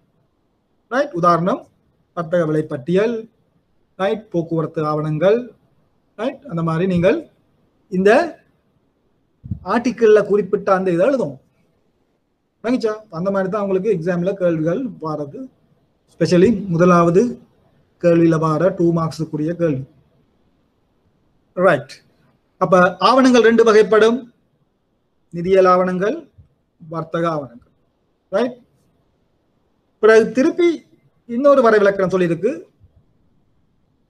Clean collection and documentary collection right இந்த ஆவண சேகரிப்பை நாங்கள் திருப்பி இரண்டு விதமாக அதாவது இந்த சேகரிப்பை நாங்கள் ரெண்டு விதமாக மேலே நாங்கள் கலெக்ஷன் என்று பார்த்தோம். இந்த கலெக்ஷனை ரெண்டு முறையாக நாங்கள் திருப்பி பிரிக்கிறோம். ஒன்று கிளீன் கலெக்ஷன் மற்றது டாக்குமெண்ட்ரி கலெக்ஷன் கிளீன் கலெக்ஷன்டா உங்களுக்கு நாங்கள் பார்த்தோன்னே தெரியுது. கிளீன் கலெக்ஷன்டா என்னது? தூய சேகரிப்பு. டாக்குமெண்ட் கலெக்ஷன் என்றால் ஆவண சேகரிப்பு. சரியா? அப்ப நாங்கள் இந்த யூஆர்சியில் மெயின்லி படிக்க போறது இந்த டாக்குமெண்ட்ரி கலெக்ஷன் ரைட் கிளீன் கலெக்ஷனை பத்தி நாங்கள் மெயின்லி படிக்க போறது இல்லை. ரைட் அது வந்து சிம்பிள் ரைட் இந்த யூஆர்சி விதிகள் எல்லாம் உங்களுக்கு இந்த டாக்குமெண்ட்ரி கலெக்ஷனோட தொடர்பு பட்டு தான் இருக்க போகும் சரியா? அப்ப இந்த ஆர்டிகல் டூ பொறுத்தல உங்களுக்கு கலெக்ஷன் என்றால் என்னன்னு தெரியணும். அந்த மூன்று முறைகள். ஆவணங்கள் ரெண்டு வகைப்படும். ஒன்று நிதியல் ஆவணங்கள் மற்றது வர்த்தக ஆவணங்கள். நிதியல் ஆவணங்கள் என்றால் என்னன்னு தெரியும். அதுக்கு உதாரணம் என்னன்னு தெரியணும். பிறகு வர்த்தக ஆவணங்கள் என்னன்னு அதுக்கு உதாரணங்கள் தெரியும். சில நேரம் உங்களுக்கு எம்சிக்யூல வரும். நாலு டாக்குமெண்ட்ஸ் தந்து போட்டு வைப்பாங்க பின்வரணவற்றில் எது? நிதியல் ஆவணம் அல்லாதது. இல்லாட்டி பின்வற்றில் எது? வர்த்தக ஆவணம் அல்லாதது. சரியா? அந்த மாதிரி சிம்பிள் கேள்விகளும் உங்களுக்கு எக்ஸாம்ல வருது. ரைட் ரைட் அப்ப இந்த கலெக்ஷன் கிளீன் கலெக்ஷன் என்ன? டாக்குமெண்ட் கலெக்ஷன் என்ன? கிளீன் கலெக்ஷன் என்று சொல்றது நிதியியல் ஆவணங்களை மற்றும் சேகரித்து. ஸோ இதெல்லாம் சும்மா நீங்கள் அந்த கன்செப்டை வடிவா விளங்கி கொண்டால் பிறகு நீங்கள் உங்களோட வேர்ட்ஸ்ல எழுதலாம். சரியா? கிளீன் கலெக்ஷன் பார்த்துருக்கேன் collection of financial document not accompanied by commercial document அதாவது எந்த விதமான வர்த்தக ஆவணங்களும் இணைக்கப்பட மாட்டாது. ஒன்லி ஃபைனான்சியல் டாக்குமெண்ட் நிதியியல் ஆவணங்களை மற்றும் சேகரித்தால் தான் நாங்கள் சொல்லுவோம் தூய சேகரிப்பு. உதாரணத்துக்கு பேங்க்ல நீங்கள் டிராஃப்ட்ஸ் ஃபாரின் டிராஃப்ட்ஸ் கலெக்ட் பண்ணுவீங்க ரைட் எனக்கு ஞாபகம் இருக்கு நான் கலெக்ட் கமர்ஷியல் பேங்க்ல ஒர்க் பண்ற நேரம் எக்ஸ்போர்ட்ஸ் டிபார்ட்மெண்ட்ல அந்த நேரம் கிளீன் கலெக்ஷன் ஒரு கவுண்டரே இருந்தது. Clean collection counter right export department அங்கால எல்சி கலெக்ஷன் எல்லாம் ஹேண்டில் பண்ணுவாங்க. அதுக்கு முன்னால கமர்ஷியல் பேங்க்ல இன்டர் பண்ணுற நேரமே கூட ஃபர்ஸ்ட் ஃப்ளோர்ல கிளீன் கலெக்ஷன் ஒரு டிபார்ட்மெண்ட் இருக்கும். அங்க பாத்தீங்கன்னா ஒன்லி இந்த டிராஃப்ட்ஸ் ட்ராவலர்ஸ் செக்ஸ் அந்த காலத்தில் ட்ராவலர்ஸ் செக்ஸ் இருந்தது இப்போ ட்ராவலர்ஸ் செக்ஸ் எல்லாம் இல்லை. அப்போ ட்ராவலர்ஸ் செக்ஸ் இந்த செக்ஸ் டிராஃப்ட்ஸ் எல்லாம் கொண்டு வந்து தருவாங்க. ஸ்பெஷலி இந்த ஹோட்டலில் கலெக்ட் பண்ணுற என்ன ஃபாரினர்ஸ்ல இருந்து கலெக்ட் பண்ணுற ட்ராவலர்ஸ் செக்ஸ் ரைட் ஃபாரின்ல இருந்து உங்களோட ஃப்ரெண்ட்ஸ் இல்லாட்டும் கூட பேரண்ட்ஸ் இல்லாட்டும் கூட ரிலேட்டிவ்ஸ் அனுப்புகிற இந்த டிராஃப்ட்ஸ் ரைட் கிஃப்டா கிடைக்கும் உங்களுக்கு டிராஃப்ட்ஸ் இல்லாட்டி கம்பெனிஸே கிடைக்கிற டிராஃப்ட்ஸ் அந்த டிராஃப்ட்ஸை மட்டும் கொண்டு கொடுப்பாங்க பேங்க்ல இதை கலெக்ட் பண்ண சொல்லி. ரைட் அப்போ candidate dollar hundred dollar Canadian dollar டிராஃப்டை கொண்டு வந்து பேங்க்ல கொடுப்பாங்க. இதை கலெக்ட் பண்ணி ப்ரொசீஸை அக்கௌண்ட்டுக்கு கிரெடிட் பண்ண சொல்லி. அப்போ நீங்கள் என்ன செய்வீங்க? Canadian dollar hundred dollar draft வந்து அதை என்ன செய்வீங்க? எங்க அனுப்புவீங்க? யாருக்கு அனுப்பணும்?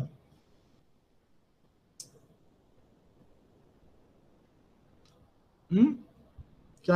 ஹண்ட்ரட் டிராஃப்ட் வந்து உங்களுக்கு கிடைக்கிது உங்களோட ரிலேஷன் அனுப்பி வைக்கிறார் கிஃப்ட் பர்த்டே கிஃப்ட் இப்போ அந்த ஹண்ட்ரட் டாலர் தான் என்ன செய்வீங்க? எப்படி கலெக்ட் பண்ணுவீங்க? போய் பேங்க்ல கொடுத்து பேங்க் என்ன செய்யும்? உடனே கலெக்ட் பண்ணுவாங்களா? ஆ? அதை யாருக்கு அனுப்பி வைக்கணும் டிராஃப்ட்டு என்ன படிச்சது டிராஃப்டை யாருக்கு அனுப்புவீங்க? நீங்கள் சப்ஜெக்ட் படிக்கணும் எல்லாத்தையும் கனெக்ட் பண்ணி படிக்கணும். அப்பதான் வந்து உங்களுக்கு விளங்கும் இந்த சப்ஜெக்டில் என்ன இருக்கு என்ன படிக்கிறோம். ம்? இதெல்லாம் உங்களோட day to day practical things யாராவது உங்கள்கிட்ட கேட்பாங்க கேண்டிடேட் டிராஃப்ட் ஒன்று இருக்கு அதை எப்படி நான் கலெக்ட் பண்ணுறது எப்படி எந்த அக்கௌண்ட்டுக்கு வர வைக்கிறது? என்ன செய்வீங்க? நீங்கள் பேங்க்ல போய் கொடுத்தோன்னா பேங்க் அதை உங்களோட கேனடியன் டாலர் கொரஸ்பாண்டன்ட் பேங்க்கு போய் அனுப்பி வைக்கும். எங்கே உங்களோட கேனடியன் டாலர் அக்கௌண்ட் இருக்கு. ஒவ்வொரு பேங்க்கும் நீங்கள் ஒரு கேனடியன் டாலர் அக்கௌண்ட் வச்சிருப்பீங்க.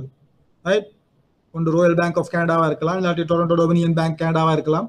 அப்போ உங்களோட பேங்க் எந்த கொரஸ்பாண்டன்ட் பேங்கோட இருக்கோ அந்த பேங்க்குக்கு நீங்கள் அந்த டிராஃப்ட் அனுப்பி ப்ரொசீட்ஸை கலெக்ட் பண்ணுவீங்க. சரியா? அப்போ குறிப்பிட்ட நாட்கள் போன பிறகு அந்த நொஸ்ட்ரோ உங்களோட கேனடியன் நொஸ்ட்ரோ அக்கௌண்ட்டுக்கு கேனடியன் டாலர்ஸ் ஹண்ட்ரட் கிரெடிட் பண்ணும் அதுக்கு பிறகு நீங்கள் உங்களோட கஸ்டமருக்கு என்னது? கேனடியன் டாலர் அந்த நாளில் இருக்கிற ரேட்டுக்கு நீங்கள் ரூபி ஈக்குவலண்ட் அவருடைய அக்கௌண்ட்டுக்கு கிரெடிட் பண்ணி. இல்லாட்டி அவர் உங்களோட கேனடியன் டாலர் அக்கௌண்ட் ஒன்று வச்சிருந்தால் நீங்கள் நேராக கன்வெர்ட் பண்ணாமல் கேனடியன் டாலரில் கிரெடிட் பண்ணி. இப்போ இதான் இந்த க்ளீன் கலெக்ஷன் டிராஃப்டை கொண்டு வந்து கொடுப்பா நீங்கள் உங்களோட கொரஸ்பாண்ட் பேங்க் அனுப்பி அதை கலெக்ட் பண்ணுவீங்க இப்போ உங்களுக்கு ஞாபகத்தில் இருக்கணும். அந்த நாள் மாதிரி இல்லை. இப்போ இந்த draft collection specially dollar draft collection right நிறைய பேர் அடிக்கடி இப்பவும் கேட்கறது. ரைட் என்னுடைய கையில் இருக்க டாலர் டிராஃப்டை கலெக்ட் பண்ண முடியும்? இப்போ உங்களோட கொரஸ்பாண்டன்ட் பேங்க்ஸ் எல்லாம் இந்த பிஸ்னஸ் அதாவது டீம் கலெக்ஷன் பிஸ்னஸ்ல இருந்து நிறைய பேர் உங்களோட சர்வீஸ்ல இருந்து விலகி விலகிட்டாங்க. அதாவது உங்களோட டாலர் டிராஃப்டை கலெக்ட் பண்ண மாட்டாங்க. ரைட் ஸ்பெஷலி ஜிபிபி சில கொரஸ்பாண்ட் பேங்க்ஸ் கலெக்ட் பண்ணுவாங்க கனடியன் டாலர்ஸ் சில பேங்க்ஸ் அந்த மாதிரி சில சில கரன்சிஸ் மட்டும். மெயின்லி யூஎஸ் டாலர்ஸ் இப்போ அதிகமான கொரஸ்பாண்ட் பேங்க்ஸ் இந்த டாலர் டிராஃப்ட் கலெக்ட் பண்ணுறது இல்லை. காரணம் இப்போ இந்த டிராஃப்ட் கூட கூட புழக்கத்தில் பாவனை குறைந்து கொண்டு போகுது. காரணம் கூட இந்த டிராஃப்ட்ஸ் வந்து மணி லாண்ட்ரிங் ஆக்டிவிட்டிஸு கூட பயன்படுத்தப்படுதான் சரியா? அதால் இந்த யூஎஸ்டி கொரஸ்பாண்டன்ஸ் ரைட் அதுல இருந்து தம்மை பாதுகாத்துக் கொள்வதற்காக அதாவது ரிஸ்க் கூட. ரைட் எனக்கு ஞாபகம் இருக்கு? ஒரு பேங்க்ல குறிப்பிட்ட ஒரு பிரான்ச்சில் ரைட் ஒரு கஸ்டமர்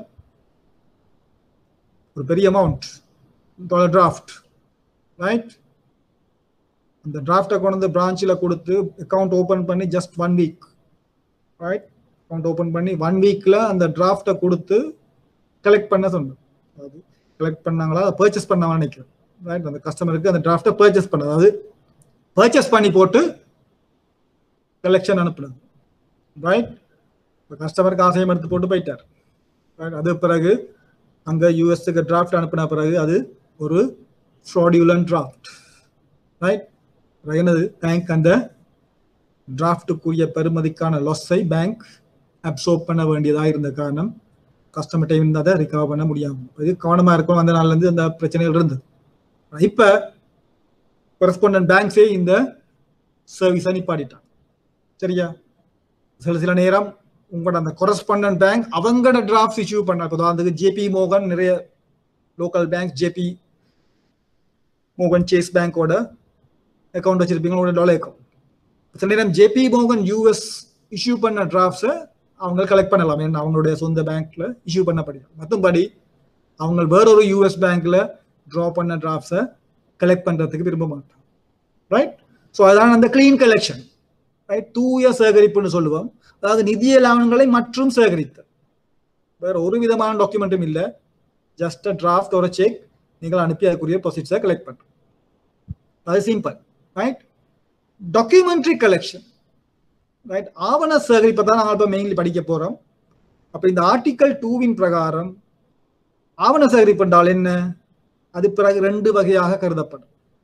ஒன்று financial documents accompanied by commercial document அதாவது வர்த்தக ஆவணங்களுடன் நிதியியல் ஆவணங்களையும் இணைத்து சேகரித்து அதாவது ரெண்டும் ஒன்றா வரும். ஒரு ஃபைனான்சியல் டாக்குமெண்ட்டோட வர்த்தக ஆவணங்களும் சேர்ந்து நீங்கள் சேகரிக்கலாம். அல்லது commercial documents not accompany by financial நிதியியல் ஆவணங்கள் தவிர்த்து வர்த்தக ஆவணங்களை மற்றும் சேகரி. சரியா? விளங்கிச்சா தூய சேகரிப்புண்டா வெறும் நிதியியல் ஆவணங்களை மட்டும் சேகரித்தல். ரைட் ஆவண சேகரிப்பு என்றால் திருப்பி அதை நாங்கள் ரெண்டா பிரிப்போம். ஒன்று வர்த்தக ஆவணங்களை மற்றும் சேகரித்தல். அல்லது வர்த்தக ஆவணங்களுடன் சேர்த்து நிதியல் ஆவணங்களையும் நான் சொல்லியிருக்கிறேன் financial documents accompanied by commercial documents அப்போ ரெண்டும் ஒன்றா வரலாம். இல்லாட்டி commercial documents not accompanied by financial financial documents இல்லாமல் வெறும் கமர்ஷியல் டாக்குமெண்ட்ஸ் வரலாம். உதாரணத்துக்கு நான் சொன்ன மாதிரி ஒரு டிபி டாக்குமெண்ட் வருது. ரைட் டென் தௌசண்ட் டாலர்ஸுக்கு டிபி டாக்குமெண்ட் ஒன்று வருது. இப்போ கவரிங் ஷீல்டோட வர நேரம் நீங்கள் பார்ப்பீங்க அங்கே பில் ஆஃப் எக்ஸ்சேஞ்ச் நான் சொன்ன அந்த கோட் பண்ணியிருப்பாங்க நம்பர் ஆஃப் டாக்குமெண்ட்ஸ் அந்த டேபிளை பார்த்தீங்கன்னா அமௌண்ட் டென் தௌசண்ட் டாலர்ஸ் ஆனால் பில் ஆஃப் எக்ஸ்சேஞ்ச் ஒன்றும் இருக்காது. அதுக்கு டேஷ் போட்டிருப்பாங்க. பில் ஆஃப் எக்ஸ்சேஞ்ச் டேஷ் அப்புறம் இன்வாய்ஸ் மூண்டு பில் ஆஃப் லேடிங் ரெண்டு சரிபட்ட பரிச்சின் மூண்டு பேக்கிங் லிஸ்ட் மூண்டு அப்படி மற்ற கமர்ஷியல் டாக்குமெண்ட்ஸ் எல்லாம் இருக்கும். ரைட் சில நேரம் பில் ஆஃப் எக்ஸ்சேஞ்ச் இருந்தால் அப்போ அவங்க மார்க் பண்ணுவாங்க பில் ஆஃப் எக்ஸ்சேஞ்ச் ரெண்டு. சரியா? அப்ப அங்க பில் ஆஃப் எக்ஸ்சேஞ்ச் வரலாம் வராமல் போகும் அப்ப பில் ஆஃப் எக்ஸ்சேஞ்சோட வந்தால் அதுதான் நாங்கள் சொல்லுவோம் நிதியல் ஆவணத்துடன் வர்த்தக ஆவணங்களையும் இணைத்து சேகரித்து அந்த பில் ஆஃப் எக்ஸ்சேஞ்ச் இல்லாட்டி வெறும் வர்த்தக ஆவணங்களை மற்றும் சேகரித்து அப்ப இதெல்லாம் எனக்கு டக்குன்னு அந்த கன்செப்டா அப்படியே விளங்கி வச்சுக்கொள்ள வேண்டியது அதுக்கு பிறகு போய் அந்த ஆர்டிக்கல்ல two A two B two சின்னு அப்படி கஷ்டப்பட தேவையில்லை அந்த டெஃபினிஷன் என்ன சொல்லுதுண்டு? நீங்கள் அந்த கன்செப்டை விளங்கிக்கொள்ளும் சரியா? இந்த ஒன் டூ எல்லாம் ஈஸியான articles application of URC definitions of collection documents two types of collection right two types of documentary collection right article one two கிளியரா எனி டவுட்ஸ் இந்த இதுகள் அடிக்கடி உங்களுக்கு வர தூய சேகரிப்புண்டா என்னன்னு கேட்கலாம் டூ மார்க்ஸுக்கு தூய சேகரிப்புண்டா என்னன்னு கேட்கலாம் ஆவண சேகரிப்புண்டா என்னன்னு கேட்கலாம் இதை இது அடிக்கடி வாருது. Two R C article two விற்கமைவாக ஆவண சேகரிப்பு என்பதால் யாது விளங்குகிறது? அப்ப நீங்கள் இந்த ரெண்டையும் சொல்லணும். ஒன்று நிதியல் ஆவணங்களுடன் சேர்த்து வர்த்தக ஆவணங்களையும் சேகரித்தல். அல்லது நிதியல் ஆவணங்களை தவிர்த்து வர்த்தக ஆவணங்களை மற்றும் சேகரி என்ன? அம்பிகைநாதன். ஓகே விளங்கிச்சா? Prashanth clear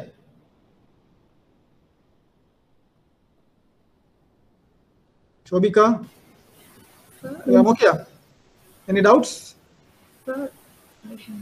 வர்த்தக ஆவணங்களில் மட்டும் சேகரிக்க எக்ஸப்டன்ஸ் இல்லாம சேகரிக்கலாமா எக்ஸப்டன்ஸ் இருக்கணும்னா ப்ரொமசரி நோட் இருக்கணும் எஸ் வர்த்தக ஆவணங்களை மட்டும் நாங்கள் டிஏல சேகரிக்கணும் பார்ப்போம் அதான் உங்களுடைய ஆர்டிகல் எயிட் ஆர்டிகல் எயிட்டுக்கு வர நேரம் நான் உங்களுக்கு விளம்பரப்படுத்துறேன் right okay right okay Article 1 and 2, okay, right. Now, Article 3. இதுவும் ஒரு மிக முக்கியமான ஆர்டிகல் உங்களுடைய முதலாவது கேள்வியில அடிக்கடி வர கேள்வி ஒரே கேள்வி ரிப்பீட் ஆகியும் இருக்கு உங்களோட பாஸ் பேப்பர்ஸை பார்த்தீங்கன்னா ரைட் உங்களுக்கு முடிஞ்சால் டூ தௌசண்ட் ஃபோர்டீன்ல இருந்து முதலாவது பேப்பர்ல இருந்து அனைத்து பேப்பர்ஸையும் இப்பவே கலெக்ட் பண்ணி கொள்ளுங்கள் ரைட் ஆனால் இந்த பேப்பர் ஸ்ட்ரக்சர் கொஞ்சம் இப்போ வர பேப்பர் ஸ்ட்ரக்சர் ஆரம்பத்தில் வந்த பேப்பர் ஸ்ட்ரக்சரோட வித்தியாசம் ரைட் இப்போ நீங்கள் கூட படிக்க வேண்டியது இந்த கடைசி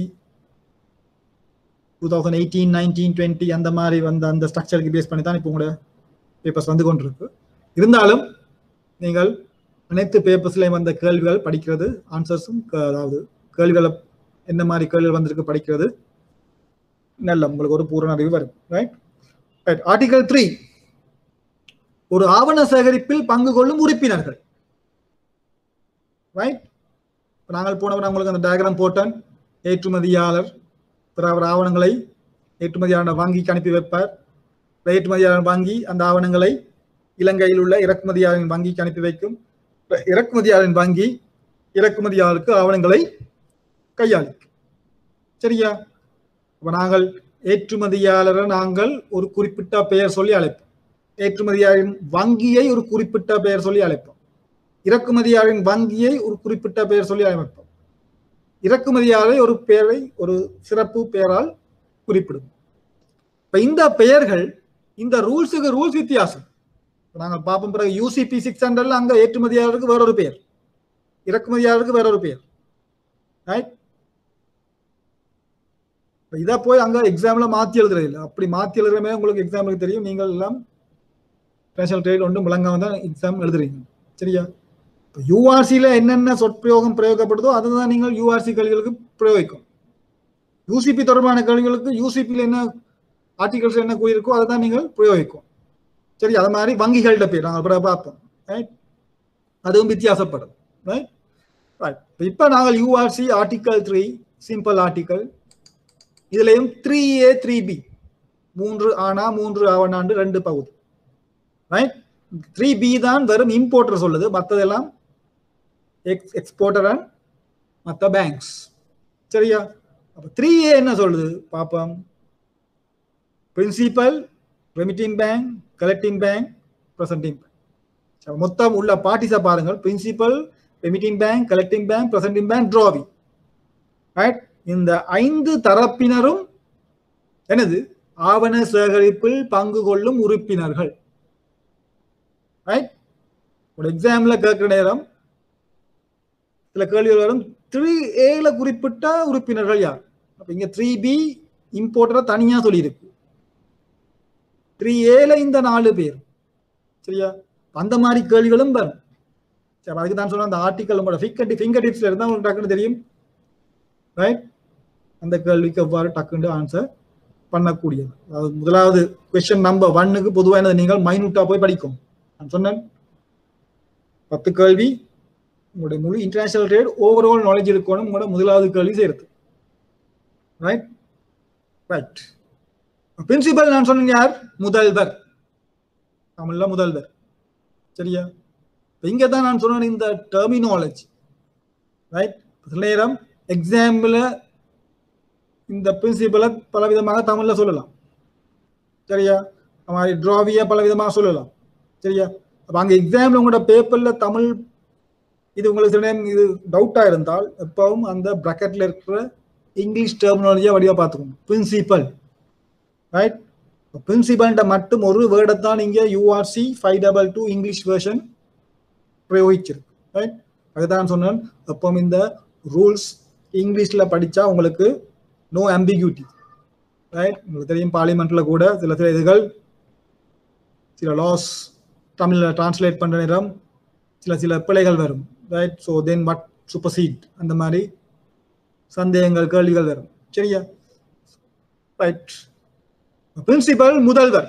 யார் முதல்வர்? Who's the party interest in the handling of a collection to a bank அதாவது ஒரு ஆவண சேகரிப்பை கையாளும் பொருட்டு வங்கிக்கு அறிவுறுத்துவார் அவர்தான் யார்?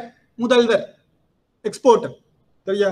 அவர் குட்ஸை எக்ஸ்போர்ட் பண்ணி அதாவது குட்ஸை எக்ஸ்போர்ட்டுக்கு தயாராகி தயார்படுத்தி அதற்குரிய ஆவணங்களை கொண்டு போய் அவருடைய வங்கிக்கு கொடுத்து அந்த ஆவணங்களை கையாளும்படி அறிவுறுத்துறார்.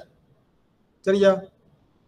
தனது சார்பாக இந்த ஆவணங்களை இறக்குமதியாளருக்கு அனுப்பி வைக்கும்படி ஒரு வங்கிக்கு அறிவுறுத்தல்களை வழங்குகிறார்.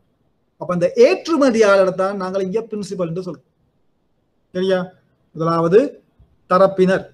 முதலாவது பார்ட்டி ரைட் ஒரு டாக்குமெண்ட் கலெக்ஷன்ல இன்வால்வ் ஆகிற முதலாவது பார்ட்டி அவர் எங்கட ஸ்ரீலங்கன் எக்ஸ்போர்ட்டர்ன்றது இங்க இருக்கிற பிரின்சிபல் அவருடைய வங்கிக்கு கொண்டு போய் டாக்குமெண்ட்ஸை ப்ரெசென்ட் பண்ணுங்க. அது மாதிரி வேற ஒரு நாட்டுல இருந்து எக்ஸ்போர்ட்டர் இலங்கைக்கு டாக்குமெண்ட்ஸ் அனுப்பினோம் அவர்கிட்ட பேங்க்குக்கு போய் டாக்குமெண்ட்ஸை ப்ரெசென்ட் பண்ணுவாங்க அப்போ அவர் இன்ட்ரெஸ்ட் பண்றார் அந்த ஹேண்ட்லிங் ஆஃப் அ கலெக்ஷன் அந்த ஆவணத்தை ஆவண சேகரிப்பை கையாளும் பொருட்டு ஒரு வங்கிக்கு அறிவுறுத்துறார். சரியா? இப்ப நான் சொன்னேன் அவர் யாரு கொடுக்கிறார்? எக்ஸ்போர்ட்டோட பேங்க் அதை தான் நாங்க சொல்லுமே remitting bank right remitting bank என்ன தமிழ்?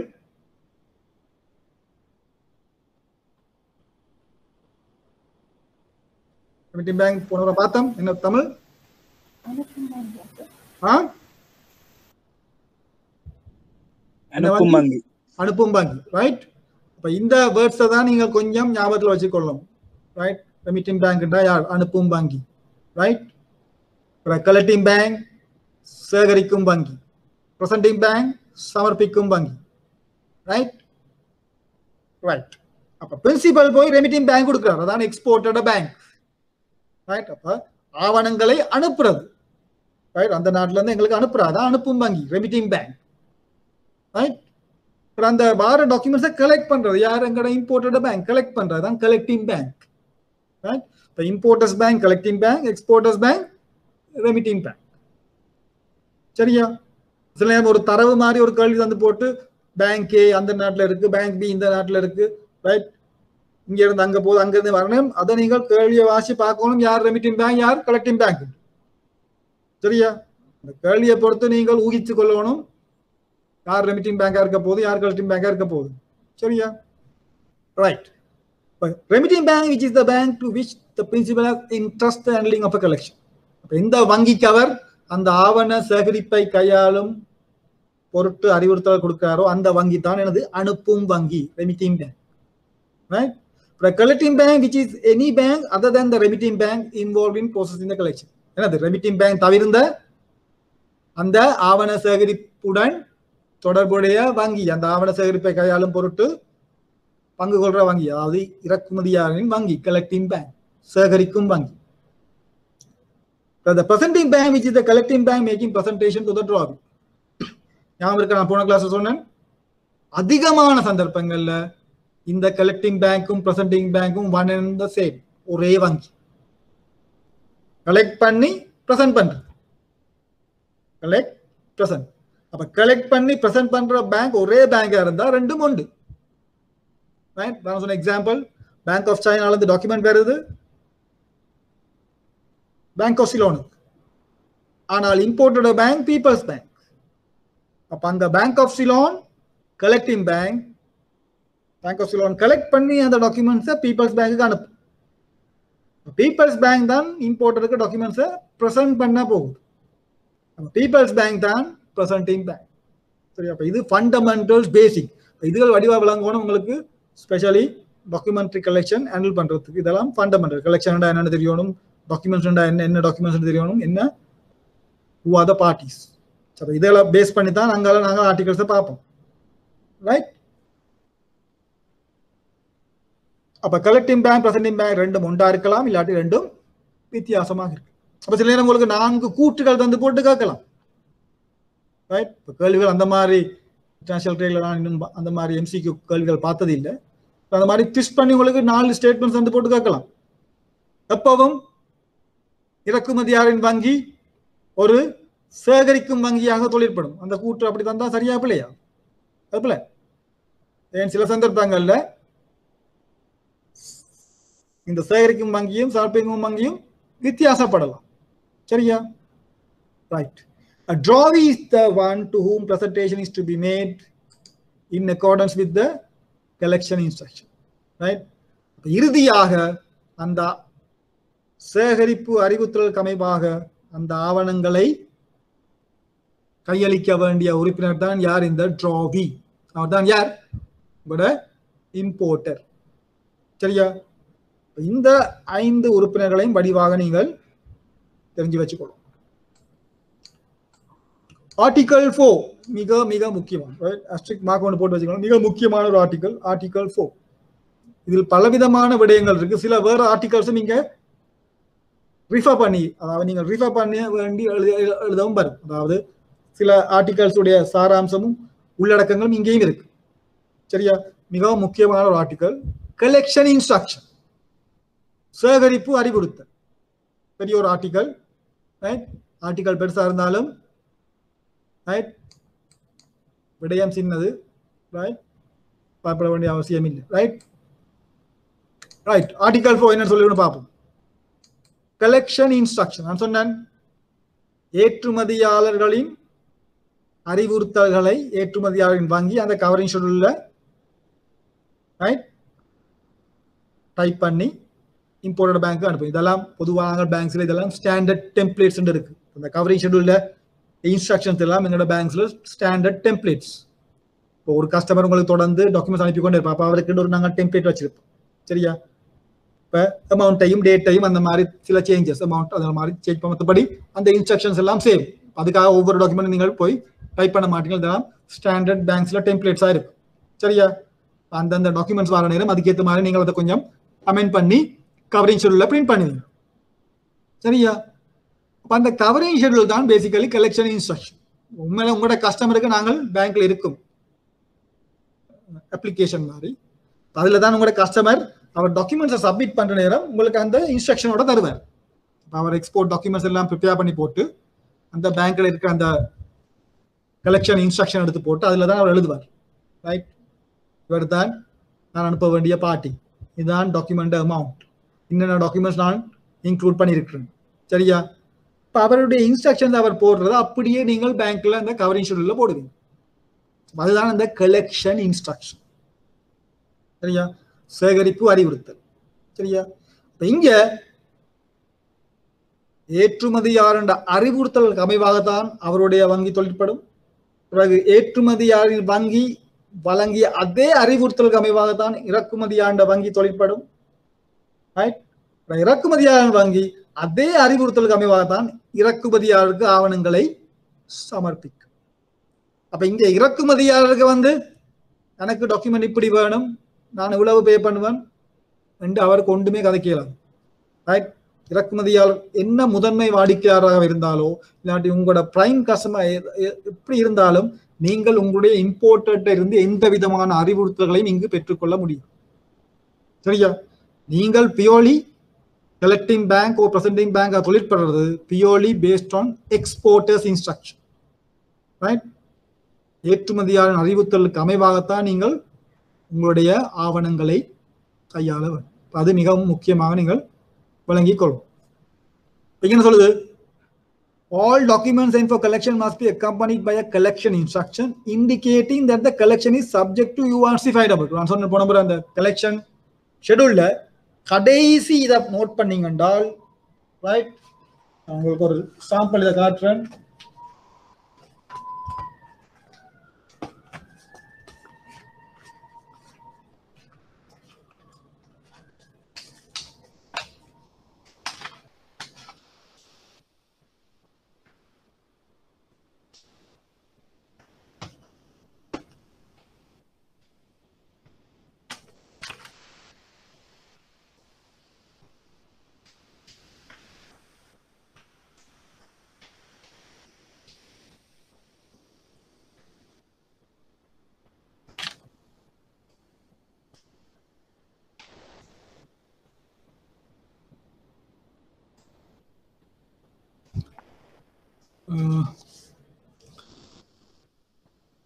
இந்த மாதிரி தான் ஒரு கவரிங் ஷெடியூல் இப்போ இது ஒரு ஆக்சிஸ் பேங்க்ல இருந்து வந்த ஒரு கவரிங் ஷெடியூல் ரைட் இந்த மாதிரி ஷெடியூலோட டாக்குமெண்ட்ஸ் எல்லாம் இணைக்கப்பட்டிருக்கும் ரைட் இதுதான் அந்த கலெக்ஷன் இன்ஸ்ட்ரக்ஷன் கவரிங் ஷெடியூல் பல பார்த்தீங்கன்றால் இங்க கடைசியா சொல்லியிருக்கும் subject to uniform rules for collection the International Chamber of Commerce publication number five double two nineteen ninety five revision சரியா?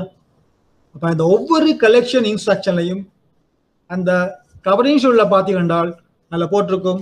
This collection is subject to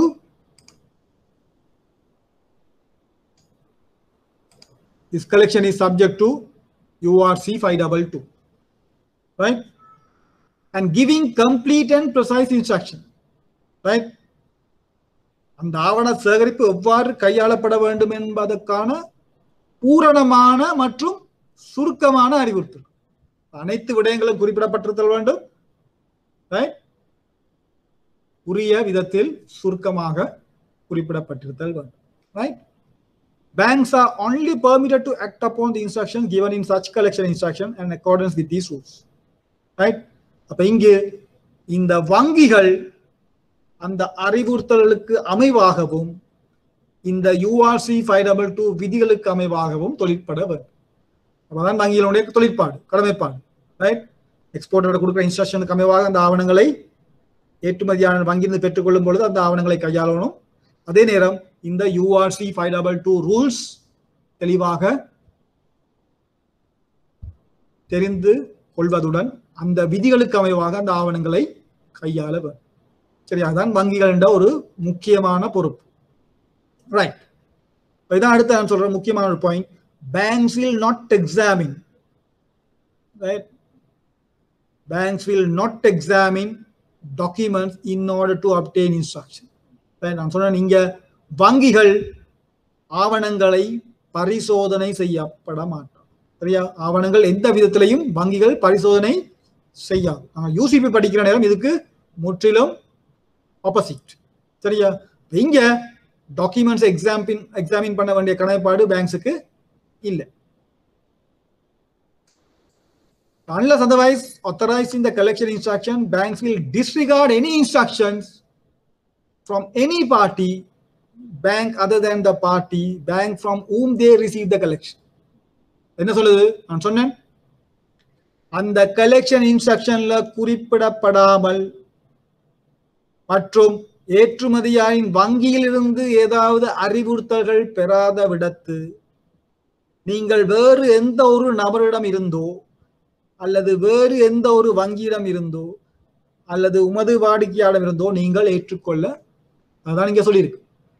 right எந்த ஒரு அறிவுறுத்தலும் அந்த கலெக்ஷன் இன்ஸ்ட்ரக்ஷன்ல சொல்லியிருக்க மாதிரி தான் நீங்கள் அந்த ஆவண சேகரிப்பை கையாளும்.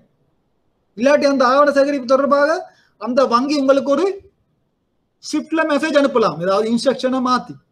அதுவும் என்ன உங்களுக்கு தெரியும்? அதே பேங்க்ல இருந்து உங்களுக்கு இன்ஸ்ட்ரக்ஷன் தருது. அப்போ நீங்கள் அதுக்கேற்ற மாதிரி தொழிற்படலாம். அதை தவிர வேறொரு மூன்றாவது நபரோ வேறொரு மூன்றாவது வங்கியோ உங்களுக்கு வந்து மேலதிகமான அறிவுறுத்தல்களை வழங்க முடியும். சரியா? இப்போ பேசிக்கலி கலெக்ஷன் இன்ஸ்ட்ரக்ஷன் தான் உங்களுடைய என்ன? பைபிள். அதுக்கேற்ற மாதிரி தான் நீங்கள் உங்களுடைய ஆவண சேகரிப்பை கையாளும் ரைட் அடுத்தது இந்த ஃபோபி collection instruction should contain the following items of information as appropriate அதாவது இந்த கலெக்ஷன் இன்ஸ்ட்ரக்ஷன்ல இந்த ஆர்டிக்கல் நான்கு கமவாக பதினோரு விடயங்கள் குறிப்பிடப்பட்டுள்ளது. சரியா? இந்த பதினோரு விடயங்களை நீங்கள் மனப்பாடம் பண்ண வேண்டிய அவசியம் இல்லை. ரைட் இந்த பதினோரு விடயங்களையும் தெரிந்து வைத்துக் கொண்டால் சில நேரம் கூட எம்சிக்குள்ள நாலு தந்து போட்டு இதுல குறிப்பிடப்படாத விடயம் எதுன்னு கேட்கலாம். ரைட் அந்த மாதிரி ஒரு கேள்வி நான் இதுவரைக்கும் எக்ஸாம் பேப்பர்ல காண இல்லை. ரைட் உங்களை கூட கன்ஃபியூஸ் பண்ணி கூட கேட்கறதுக்கு அந்த மாதிரி ஒரு கேள்வி போடலாம் வடிவாக பதினோரு விடயத்தில் மூன்று சரியான விடயத்தையும் ஒன்று குறிப்பிடப்படாத விடயத்தையும் சொல்லி எது? இது யூஆர்சி ஆர்டிக்கல் ஃபோவில் குறிப்பிடப்படாத விடயம்னு கேட்கலாம். அந்த மாதிரி கேட்டது இல்லை. உங்களுக்கு கேட்டிருக்கு. முதலாவது கேள்வியில் ரெண்டு மார்க்ஸுக்கு எழுத சொல்லி வந்திருக்கு. இந்த பதினோரு விடயங்களில் ஏதாவது இரண்டு விடயங்களை குறிப்பிட. இல்லாட்டி உங்களுடைய எஸ்ஏ கல்வியில் ஒரு பகுதியாக இந்த ஆர்டிக்கல் ஃபோவில் போபி கமைவாக குறிப்பிடப்பட்ட அந்த இரண்டு விடயங்களை பெயரிடுக அல்லது எழுதுக. ரைட் அப்போ குறிப்பிட்ட ஒரு அட்லீஸ்ட் ஒரு ஐந்தாவது தெரிஞ்சு வச்சுக்கொள்ளுங்கள். மேலோட்டமாக இந்த கலெக்ஷன் இன்ஸ்ட்ரக்ஷன்ல குறிப்பிடப்பட்ட விடயங்கள். ரைட் நாங்கள் ஒவ்வொன்றா பார்க்க நேரம் உங்களுக்கு தெரியும். இதை ஞாபகத்தில் வச்சிருக்கிறதும் லேசு. ரைட் ஒவ்வொன்றா பார்ப்போம் details of the bank from with the collection was receive அதாவது எந்த வங்கியிடம் இருந்து நீங்கள் ஆவணங்களை பெற்றுக்கொண்டீர்களோ அந்த வங்கி தொடர்பான டீடைல்ஸ் அப்போ in simple point number one remitting banks details right அப்போ ரெமிட்டிங் பேங்க் டீடைல்ஸ் என்ன? ரெமிட்டிங் பேங்கோட பேர் என்ன? அட்ரஸ் என்ன? அந்த முகவரி என்ன? அந்த ஏதாவது telephone number contact number swift code right telex number அந்த மாதிரி அதான் சொல்லியிருக்கு. Details of the bank from with collection was was including full name the bank name postal and shift addresses telex telephone telephone, mail numbers and reference அதில் reference முக்கியம். Right right எந்த ஒரு collection இன்ஸ்ட்ரக்ஷனும் பெறும்பொழுது நீங்கள் உங்களுக்கு பேங்க் ரெஃபரன்ஸ் ஒன்று இருக்கும் மேல. சரி அப்போ அதுக்கு நீங்கள் லெட்டர் ஒன்று போஸ்ட் பண்ணுறீங்க கம்யூனிகேஷன் உங்களோட கொரஸ்பாண்டன்ஸ் எப்போவுமே அந்த பேங்க்ல லெட்டர் ஒன்று டைப் பண்ணுற நேரம் அவர் ரெஃபரன்ஸ் யுவர் ரெஃபரன்ஸ் அப்போ அந்த ரெஃபரன்ஸ் ஒன்று போன போட்டால் தான் தெரியும் உங்களுக்கு திருப்பி ரெஸ்பாண்ட் பண்ண நேரம் ரைட் எந்த ரெஃபரன்ஸை கோட் பண்ணி நீங்கள் ரெஸ்பாண்ட் பண்ணணும். இல்லாட்டி உங்களுக்கு ரெஸ்பான்ஸ் ஒன்று வர நேரம் ரைட் எங்களோட இந்த ரெஃபரன்ஸுக்கு தான் இந்த ரெஸ்பான்ஸ் வருது. இந்த ரெஃபரன்ஸ்ன்றது மிக முக்கியம் பொதுவாக இந்த கலெக்ஷன் இன்ஸ்ட்ரக்ஷன் ரைட் அப்போ இந்த எக்ஸ்போர்ட்டட பேங்க் அதாவது ரெமிட்டிங் பேங்க் தொடர்பான விடயங்கள் ரைட் சில நேரம் இதில் எல்லாரும் அனை அனைத்து விடயங்களும் இருக்க வேண்டிய அவசியம் இல்லை. பேங்கோட பேர் அட்ரஸ் ஸ்விஃப்ட் கோட் இருந்தாலே போதும். ரைட் எங்களுக்கு இந்த பேங்கை பற்றியெல்லாம் எல்லாம் நாங்கள் சர்ச் பண்ணுறதுக்கு இப்போ நிறைய விதிகள் இருக்குது கட்டாயம் இந்த கலெக்ஷன் இன்ஸ்ட்ரக்ஷன்லேயே தான் பேங்கோட டெலிஃபோன் நம்பர் எல்லாம் இருக்க வேண்டிய அவசியம் இல்லை. காரணம் பேங்கர்ஸ் அல்மனக்குன்னு ஒன்று இருக்கு. யாராவது கேள்விப்பட்டிருப்பீங்களோ தெரியாது. அதாவது உலகத்தில் உள்ள அனைத்து வங்கிகள் தொடர்பான சகல அதாவது ஷிஃப்ட் அட்ரஸஸ் ரைட் பேங்க் அந்த காலத்தில் பார்த்தீங்கன்னா bankers அல்மனக்குண்டு banks A to Z alphabetical ஆர்டரில் ஏல தொடங்குற பேங்க்ஸோட பேர்ல இருந்து ஜெட்ல தொடங்குற பேங்க்ஸோட பேர் எல்லாமே அந்த பேங்கர்ஸ் அல்பனக்ல இருக்கும். இல்லாட்டி கண்ட்ரி வைஸ் ஒன்று இருக்கும். A to C right Angola to China அந்த மாதிரி ஏ டு சியில் வர எல்லா கண்ட்ரிஸுக்கும் உரிய ஒரு அல்மனா அது மாதிரி முந்தி புக்ஸ் பேங்க்ஸுக்கு வர்றது பேங்கர்ஸ் அல்மனக்கால நாங்கள் காசு கொடுத்து வாங்குவோம். இப்போ இந்த டெக்னாலஜி என்னது? அதெல்லாம் காஸ்ட் கூட. இப்போ பேங்கர்ஸ் எலமெனக்குண்டு ஒரு வெப்சைட் இருக்கு. அதுவும் நீங்கள் எவ்ரி இயர் சப்ஸ்கிரைப் பண்ணணும். அந்த லைசன்ஸை நீங்கள் உங்களோட பேங்க்ல ஒரு ஆள் யூஸ் பண்றேன்டால் ஒரு குறிப்பிட்ட அமௌண்ட் பே பண்ணணும். ரெண்டு பேர் யூஸ் பண்றேன்டா அந்த ரெண்டு பேருக்கும் யூஸ் பண்ணணும். ரைட் அது நீங்கள் ஒரு வருஷம் நீங்கள் அந்த பேங்கர்ஸ் எலமெனக்கோட அக்ரிமெண்ட்ல நீங்கள் ரினியூ பண்ணி கொண்டு இருக்கணும் அந்த ஃபெசிலிட்டி எடுக்கணும் அதில் போனீங்கன்னா இந்த உலகத்தில் உள்ள அனைத்து பேங்க்ஸ் தொடர்பான டீட்டெயில்ஸும் இருக்கும். உங்களுக்கு ஏதாவது ஒரு பேங்கை கண்டாக்ட் பண்ணுறதுக்கு அந்த கண்டாக்ட் டீட்டெயில்ஸ் எல்லாம் அங்கே இருக்கும். சரியா? அதுதான் அந்த பிரயோசனம் பேங்கை சொல்லணும் சரியா? ரைட் அப்போ இங்கே கலெக்ஷன் இன்ஸ்ட்ரக்ஷனில் பொதுவாக அந்த பேங்க் ரெமிட்டிங் பேங்க் தொடர்பான டீட்டெயில்ஸ் அதை ஞாபகம் வச்சிருக்கணும் பாயிண்ட் நம்பர் வந்து remitting bank details in simple ரெண்டாவது டீட்டெயில்ஸ் ஆஃப் த பிரின்சிபல் யார் பிரின்சிபல் ஏற்றுமதியாளர். அவரோட பேர் அட்ரஸ் டெலிஃபோன் நம்பர் ரைட் அதான் பார்த்தீங்கன்னா இந்த கலெக்ஷன் இன்ஸ்ட்ரக்ஷனில் ரைட் தான் இந்த ரெமிட்டிங் பேங்க் ஆக்சிஸ் பேங்கோட டீட்டெயில் ரைட் இது எந்த பேங்குக்கு வருது? யார் ஏற்றுமதியாளர்? யார் இறக்குமதி? இந்த அனைத்து விடயங்களையும் தான் இந்த பதினோரு ஐட்டம்ஸ் உங்களுக்கு இந்த யூஆர்சி போல சொல்லியிருக்கு ரைட் மூன்றாவது டீட்டெயில்ஸ் ஆஃப் த ட்ராவி அதான் உங்களுடைய இம்போர்ட்டர் அப்போ இம்போர்ட்டோட பெயர் அட்ரஸ் எல்லாம். இப்போ நாலாவது details of the presenting bank எந்த வங்கி சமர்ப்பிக்க போகுது? Right basically collecting presenting bank எல்லாம் இந்த ரெண்டும் இந்த இதுக்குள்ள வரும். ரைட் அப்போ முதல் நான்கு விடயங்களையும் உங்களுக்கு என்னது? இதெல்லாம் மனப்பாடம் தேவையில்லை. டக்குன்னு பார்த்தோன்னே முதல் நான்கு விடயங்கள். Remitting bank details collecting of presenting bank details exporter details importer details right நான் சொன்னேன் அந்த நாலஞ்சு விடயங்கள் எழுத சொல்லி. அதுக்கு என்னது? இந்த மாதிரி முதல் நாலஞ்சு விடங்களை சுலபமாக நீங்கள் எக்ஸாமில் எழுதலாம். சரியா? இந்த ஐந்தாவது amount and currencies to be collected அப்ப நீங்கள் உங்களுக்கு வார ஒவ்வொரு ஆவண சேகரிப்புக்கும் ஒரு குறிப்பிட்ட தொகை. ஹண்ட்ரட் தௌசண்டா டென் தௌசண்டா ஃபிஃப்டி தௌசண்ட் அது மாதிரி என்ன நாணயம்? ரைட் கரன்சி யூஎஸ்டியா ஜிபிபியா யூடியா ஜப்பனீஸ் ஜப்பனீஸ் என்ன ரைட் அப்ப அந்த நாணயமும் தொகையும் குறிப்பிடப்பட்டிருத்தல் வேண்டும். ரைட் அது மிக முக்கியமான ஒரு விடயம் ஆறாவது லிஸ்ட் ஆஃப் டாக்குமெண்ட்ஸ் என்க்ளோஸ் அந்த நியூமெரிக்கல் கவுண்ட் ரைட் இந்த ஒரு முக்கியமான விடயம் நான் சொன்னேன். போன உங்களுக்கு வழங்கப்படுத்தினேன் இதான் இந்த டாக்குமெண்ட்ஸ் போட்டிருக்கு. பாத்தீங்கடா bill of exchange invoice BL in insurance certificate of origin package அந்த மாதிரி டாக்குமெண்ட்ஸ் அவங்க லிஸ்ட் பண்ணியிருப்பாங்க. ரைட் ரெண்டு ஆறு மூன்று. நான் சொன்னேன் இல்லாட்டி சைபர் இருக்கும். பில் ஆஃப் எக்ஸ்சேஞ்ச் சைபர் இந்த மாதிரி உங்களுக்கு அந்த டாக்குமெண்ட்ஸ் என்னென்ன டாக்குமெண்ட்ஸ் அந்த கவரிங் இணைக்கப்பட்டிருக்கு அந்த டாக்குமெண்ட் எத்தனை உங்களுக்கு அனுப்பி வைக்கப்பட்டுள்ளது. அதான் உங்களுக்கு தந்திருக்கிறது list of documents and the numerical count சரி அப்ப ஆவணங்களின் என்னென்ன ஆவணங்கள் எத்தனை இணைக்கப்பட்டுள்ளது. அப்புறம் அடுத்தது terms and conditions upon which payment acceptance is to be obtained. அடுத்த ஏழாவது பார்த்தீங்கன்னா ரெண்டும் இந்த டிபியா டிஏயா உங்களுக்கு தெரியும் ஆவண சேகரிப்பு வந்து ஒன்று டிபியா இருக்கலாம் அல்லது டிஏயா இருக்கலாம். அப்போ அது தொடர்பான விடயத்தை அந்த ஆவண சேகரிப்பில் அறிவுறுத்தல்களில் குறிப்பிடப்பட்டிருத்தல் வேண்டும். ரைட் இந்த ஏழில் பார்த்தீங்களா சொல்லியிருக்கு it is the responsibility of the party preparing the collection instruction to ensure that the terms for the delivery of documents are clearly and unambiguously stated. Otherwise, banks will not be responsible for any consequences arising therefore.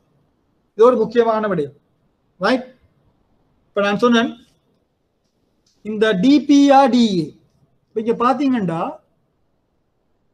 இங்க மேல இருக்கும் ten at sight right அது DP right ten eight சைட்னு சொல்றது DP இங்க கீழே போட்டிருக்கும் deliver documents against payment right அதான் உங்களுக்கு இங்கே தந்திருக்கு ரைட் பேமெண்ட்டா அக்செப்டன்ஸா எப்படி டாக்குமெண்ட்ஸ் டெலிவர் பண்ண வேணும் ரைட் இப்போ இங்க மேல டிபின்னு தந்து போட்டு இங்கே டெலிவர் டாக்குமெண்ட்ஸ் அகெயின் அக்செப்டன்ஸ் சொல்லலாம்.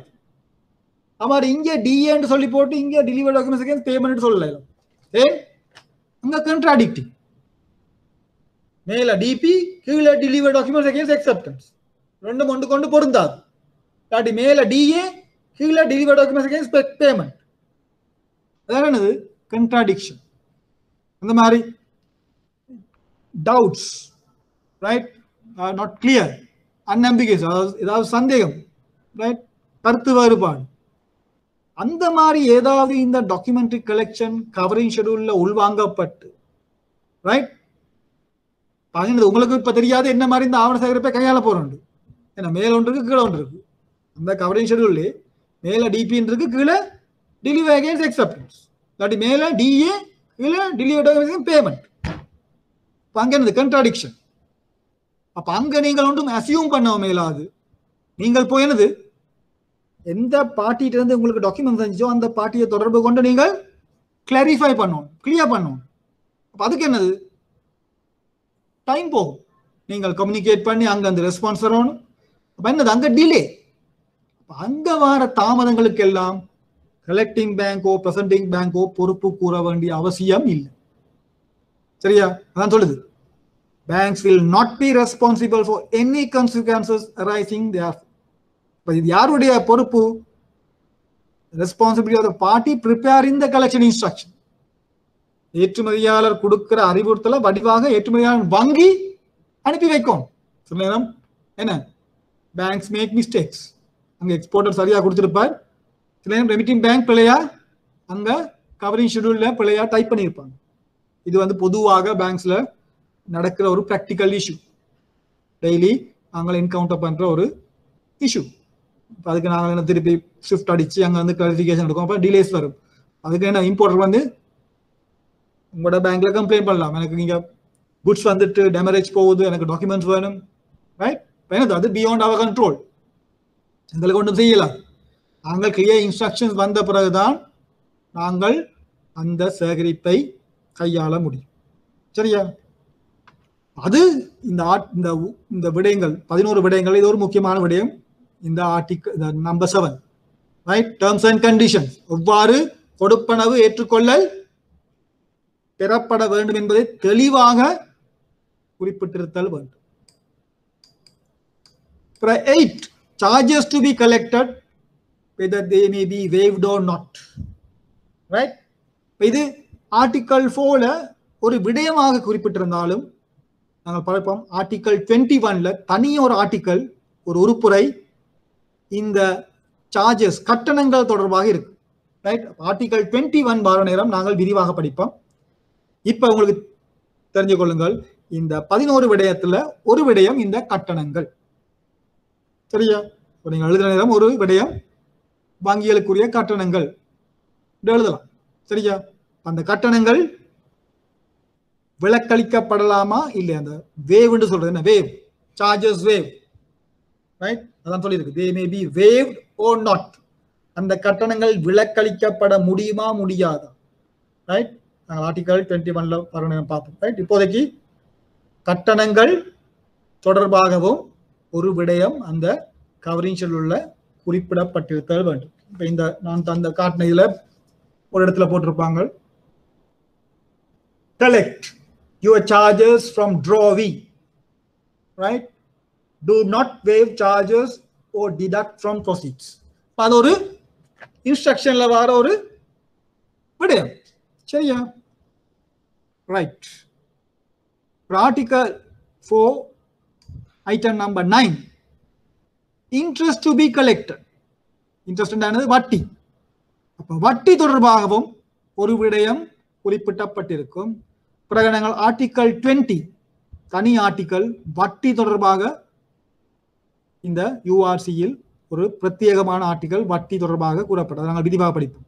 ரைட் இந்த மூன்று விடயங்களும் திருப்பியும் ஆர்டிகல் டுவெண்ட்டிலையும் இருக்கு. அதாவது வட்டி தொடர்பாக ஏதாவது கலெக்ஷன் இன்ஸ்ட்ரக்ஷன்ல குறிப்பிட்டிருந்தால் இந்த மூன்று விடயங்கள் உள்வாங்கப்பட வேண்டும். இது அடிக்கடி உங்களோட எக்ஸாம்ல வர ஒரு கேள்வி. சரியா? இந்த மூன்று விடயங்களும் நீங்கள் வடிவாக தெரிஞ்சிருக்கணும். ரைட் இது நீங்கள் கட்டாயம் பாடமாக்கி வச்சிருக்கணும். அப்பதான் உங்களுக்கு தெரியும். நான்கு விடயங்கள் தந்து போட்டு எது இதில் குறிப்பிடப்படாத விடயம் எது? நாலாவது விடயம் ஏதாவது ஒரு விடயம் தருவாங்க ஆனா உங்களுக்கு இந்த மூன்று விடயங்களும் தான் கட்டாயம் தேவைண்டால் அந்த நாலாவது விடயம் தான் தேவையற்ற விடை. அப்ப வட்டி தொடர்பாக என்ன சொல்லியிருக்கு? கட்டணங்கள் மாறி வட்டியும் விலக்களிக்கப்படலாம் முடியாது. ஆனால் வட்டி தொடர்பாக இந்த மூன்று விடயங்கள் என்னது? ரேட் ஆஃப் இன்ட்ரெஸ்ட் உங்களுக்கு தெரியும் வட்டின்னா கட்டாயம் இன்ட்ரெஸ்ட் ரேட் இருக்கும். இன்ட்ரெஸ்ட் பீரியட் எவ்வளவு காலத்துக்கு வட்டி அறவிடப்பட வேணும்? மூன்று பேசிஸ் ஆஃப் கால்குலேஷன் ரைட் அந்த வட்டியை கணிப்பிடும் பொழுது உங்களுக்கு தெரியும் சில நாடுகளில் இந்த அப்ளிகேஷன் சில நாடுகள் three hundred sixty days basis calculate பண்ணுவாங்க. ஒரு வருஷத்துக்கு சில நாட்கள் சில நாடுகளில் த்ரீ ஹண்ட்ரட் சிக்ஸ்டி ஃபைவ் சரியா? அதுக்காக தான் நீங்கள் த்ரீ ஹண்ட்ரட் சிக்ஸ்டியோ த்ரீ ஹண்ட்ரட் சிக்ஸ்டி ஃபைவ் பேசிஸ்ன்னு போட்டிருக்கு. சரியா? உங்களுக்கு தெரியணும் rate of interest interest period basis of calculation இந்த மூன்று விடயங்களும் கட்டாயம் உங்களுக்கு வட்டி தொடர்பாக கலெக்ஷன் இன்ஸ்ட்ரக்ஷன்ல குறிப்பிட்டிருந்தால் உங்களுக்கு அது தொடர்பாக குறிப்பிடப்பட்டிருத்தல் வரும். இல்லாட்டி தானே இதெல்லாம் நீங்கள் ஊகிக்க முடியாது. இதை இந்த ரேட் இன்ட்ரெஸ்ட் ரேட் என்ன இன்ட்ரெஸ்ட் பீரியட் எவ்வளவுக்கு இன்ட்ரெஸ்ட் சார்ஜ் பண்ணணும்? அதெல்லாம் நீங்கள் ஊகித்து செயற்பட முடியாது. ரைட் அந்த மாதிரி ப்ராக்டிக்கல் கொஷின்ஸ் தரும். அப்போ நாங்கள் பார்ப்போம். ரைட் இந்த யூஆர்சி கேள்வி கூட உங்களோட பழைய சிலபஸ் அந்த நாள் சிலபஸில் பார்த்தீங்கன்றால் யூஆர்சிக்குன்னு ஒரு தனி கேள்வி வரும். முழுக்க முழுக்க ப்ராக்டிக்கல் கேள்வி ஒரு ப்ராக்டிக்கல் சினாரியோ வந்து போட்டு கேட்பாங்க. ஆனால் இப்போ உங்களோட எக்ஸாம் இப்போ டிஏபிஎஃப் எக்ஸாம் இன்டர்நேஷனல் ட்ரேட் வலு சுலபமான கேள்விகள் தான் உங்களுக்கு இந்த யூஆர்சி தொடர்பான கேள்விகளும் எழுப்பப்படும். கூட தியரிட்டிக்கல் கேள்வி ரைட் ரைட் அடுத்த பத்தாவது method of payment and form of payment advice இது உங்களுடைய கடைசி ஆர்டிக்கல் இருபத்தி ஆறாவது article right payment method and அந்த பேமெண்ட் அல்லது எக்ஸப்டன்ஸ் தொடர்பான advices right instructions in case of நான் கடைசி நான் சொன்ன ஐட்டம் நம்பர் லெவன் நீங்கள் கொடுப்பனவு செய்யாட்டி இல்லாட்டி ஏற்றுக்கொள்ளல் செய்யாட்டி இல்லாட்டி ஏற்றுக்கொள்ளல் செய்து திருப்பி அது கொடுப்பனவு செய்யாட்டி அது தொடர்பான அறிவுறுத்தல். சரியா? இந்த பத்தும் பதினொன்றும் உங்களுடைய இருபத்தி ஆறாவது ஆர்டிக்கல்ல நாங்கள் மேலதிகமாக படிப்போம். ரைட் ஒன்பதாவது விடயம் ஆர்டிக்கல் இருபது மேலதிகமாக படிப்போம். எட்டு ஆர்டிக்கல் இருபத்தி ஒன்றில் மேலதிகமாக படிப்போம். சரியா? அப்போ உங்களுக்கு இந்த ஆர்டிக்கல் ஃபோர் கலெக்ஷன் இன்ஸ்ட்ரக்ஷனில் குறிப்பிடப்பட்ட விடயங்கள் பதினொன்று அந்த பதினொன்றும் தெரிந்திருந்தால் மிகவும் நல்லது. இல்லாட்டியும் ஒரு எஸ்ஏ கல்விக்கு நாலஞ்சு எழுத சொல்லி வந்தால் உங்களுக்கு இந்த பதினொன்றுல அட்லீஸ்ட் நாலஞ்சு ஞாபகம் இருக்கும். இல்லாட்டி உங்களுடைய எம்சிக்யூல நான் சொன்ன மாதிரி அந்த நாலு தந்து போட்டு இதில் குறிப்பிடப்படாத விடயம் என்று கேட்டால் உங்களுக்கு பதினொன்று தெரிஞ்சால்தான் அதில் குறிப்பிடப்படாத விடயம் எதுன்னு சரியா? கூட இன்டர் பேங்க் குவிஸ் கேள்விப்பட்டிருப்பீங்க ரைட் பொதுவாக. ஒரு வருஷம் முந்தி இப்போ இந்த பேண்டமிக்கு பிறகு நடக்க இல்லை அதுக்கு முதல் பார்த்தீங்கன்னா ஒவ்வொரு ஒவ்வொரு முறையும் ஒவ்வொரு வருஷமும் inter bank popular quiz among the bankers என்ன அதில் பார்த்தீங்கன்னா அஞ்சு ரவுண்ட் இருக்கும் முதலாவது ரவுண்ட் ஜென்ரல் பேங்கிங் ரெண்டாவது international trade current affairs sports entertainment அந்த இன்டர்நேஷ்னல் ட்ரேட் ரவுண்டில் பார்த்தீங்கன்னா உங்களுக்கு இந்த மாதிரி நுணுக்கமான கேள்விகள் தான் கேட்பாங்க அதாவது நீங்கள் உடனடியாக இந்த இருபத்தாறு ஆர்டிக்கலும் உங்களோட ஃபிங்கர் டிப்ஸில் இருக்கணும் அந்த மாதிரி கேள்விகளுக்கு ஆன்சர் பண்ணுறது சரியா அந்த அளவுக்கு உங்களுக்கு உங்களுடைய டிஏபிஎஃப் எக்ஸாமில் கேள்விகள் வராது. ஸோ அப்படியா நீங்கள்? அட்லீஸ்ட் மேலோட்டமாக இந்த விதிகள் உங்களுக்கு தெரிஞ்சிருக்கும்.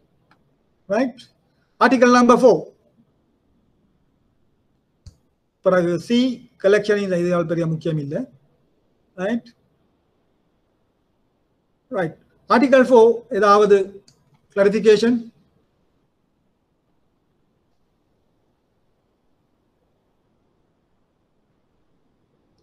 சேகரிப்பு அறிவுறுத்தல் விளங்கிச்சா? என்ன மாதிரி? Doubts Vishanthini okay article four Nishanthan? என்ன? கலெக்ஷன் இன்ஸ்ட்ரக்ஷன்ல குறிப்பிடப்பட வேண்டிய மிக முக்கியமான விடயங்கள். சரியா? அதாவது கவரிங் ஷெடியூல்ல என்னென்ன விடயங்கள் குறிப்பிடப்பட வேண்டும்? தெரிய அந்த குறிப்பிடப்பட்ட விடயங்களுக்கு அமைவாகத்தான் நீங்கள் அந்த ஆவண சேகரிப்பை கையாள வேண்டும். Right right article five presentation right எங்கேயும் இந்த ஆர்டிகல் ஃபைவ் பார்த்தீங்கன்றால் கொஞ்சம் பெரிய ஆர்டிகல் ஆனால் விடயம் ஒரே ஒரு விடயம் தான் என்ன உங்களுக்கு விளங்கணும்? ரைட் பிரசன்டேஷன் அதாவது சமர்ப்பிப்பு. ஆவணங்கள் அங்கிருந்து வார நேரம் அதை கலெக்ட் பண்ணி நீங்க ப்ரெசென்ட் பண்ண போறீங்க. Right collecting bank or presenting பேங்காக நீங்கள் டாக்குமெண்ட்ஸை கலெக்ட் பண்ணி அதை இம்போர்ட்டருக்கு ப்ரெசென்ட் பண்ண போறீங்க. அப்போ அந்த டாக்குமெண்ட்ஸை ப்ரெசென்ட் பண்றதுக்கு இந்த முறையை தான் சொல்றது ப்ரெசன்டேஷன் எவ்வாறு நீங்கள் ஆவணங்களை சமர்ப்பிக்க போறீங்க? சமர்ப்பிப்பு. ப்ரெசன்டேஷன் என்னது? சமர்ப்பிப்பு. இந்த ஆர்டிகல் என்ன சொல்லி இருக்குண்டா அந்த வார டாக்குமெண்ட்ஸை அப்படியே எந்த விதமான மாற்றத்திற்கும் உட்படுத்தாமல் ஆவணங்களை இறக்குமதியாளருக்கு சமர்ப்பித்தல் தான் சமர்ப்பிப்பு. என்ன ஒரு வித்தியாசம்? நான் போன முறை சொன்னேன்.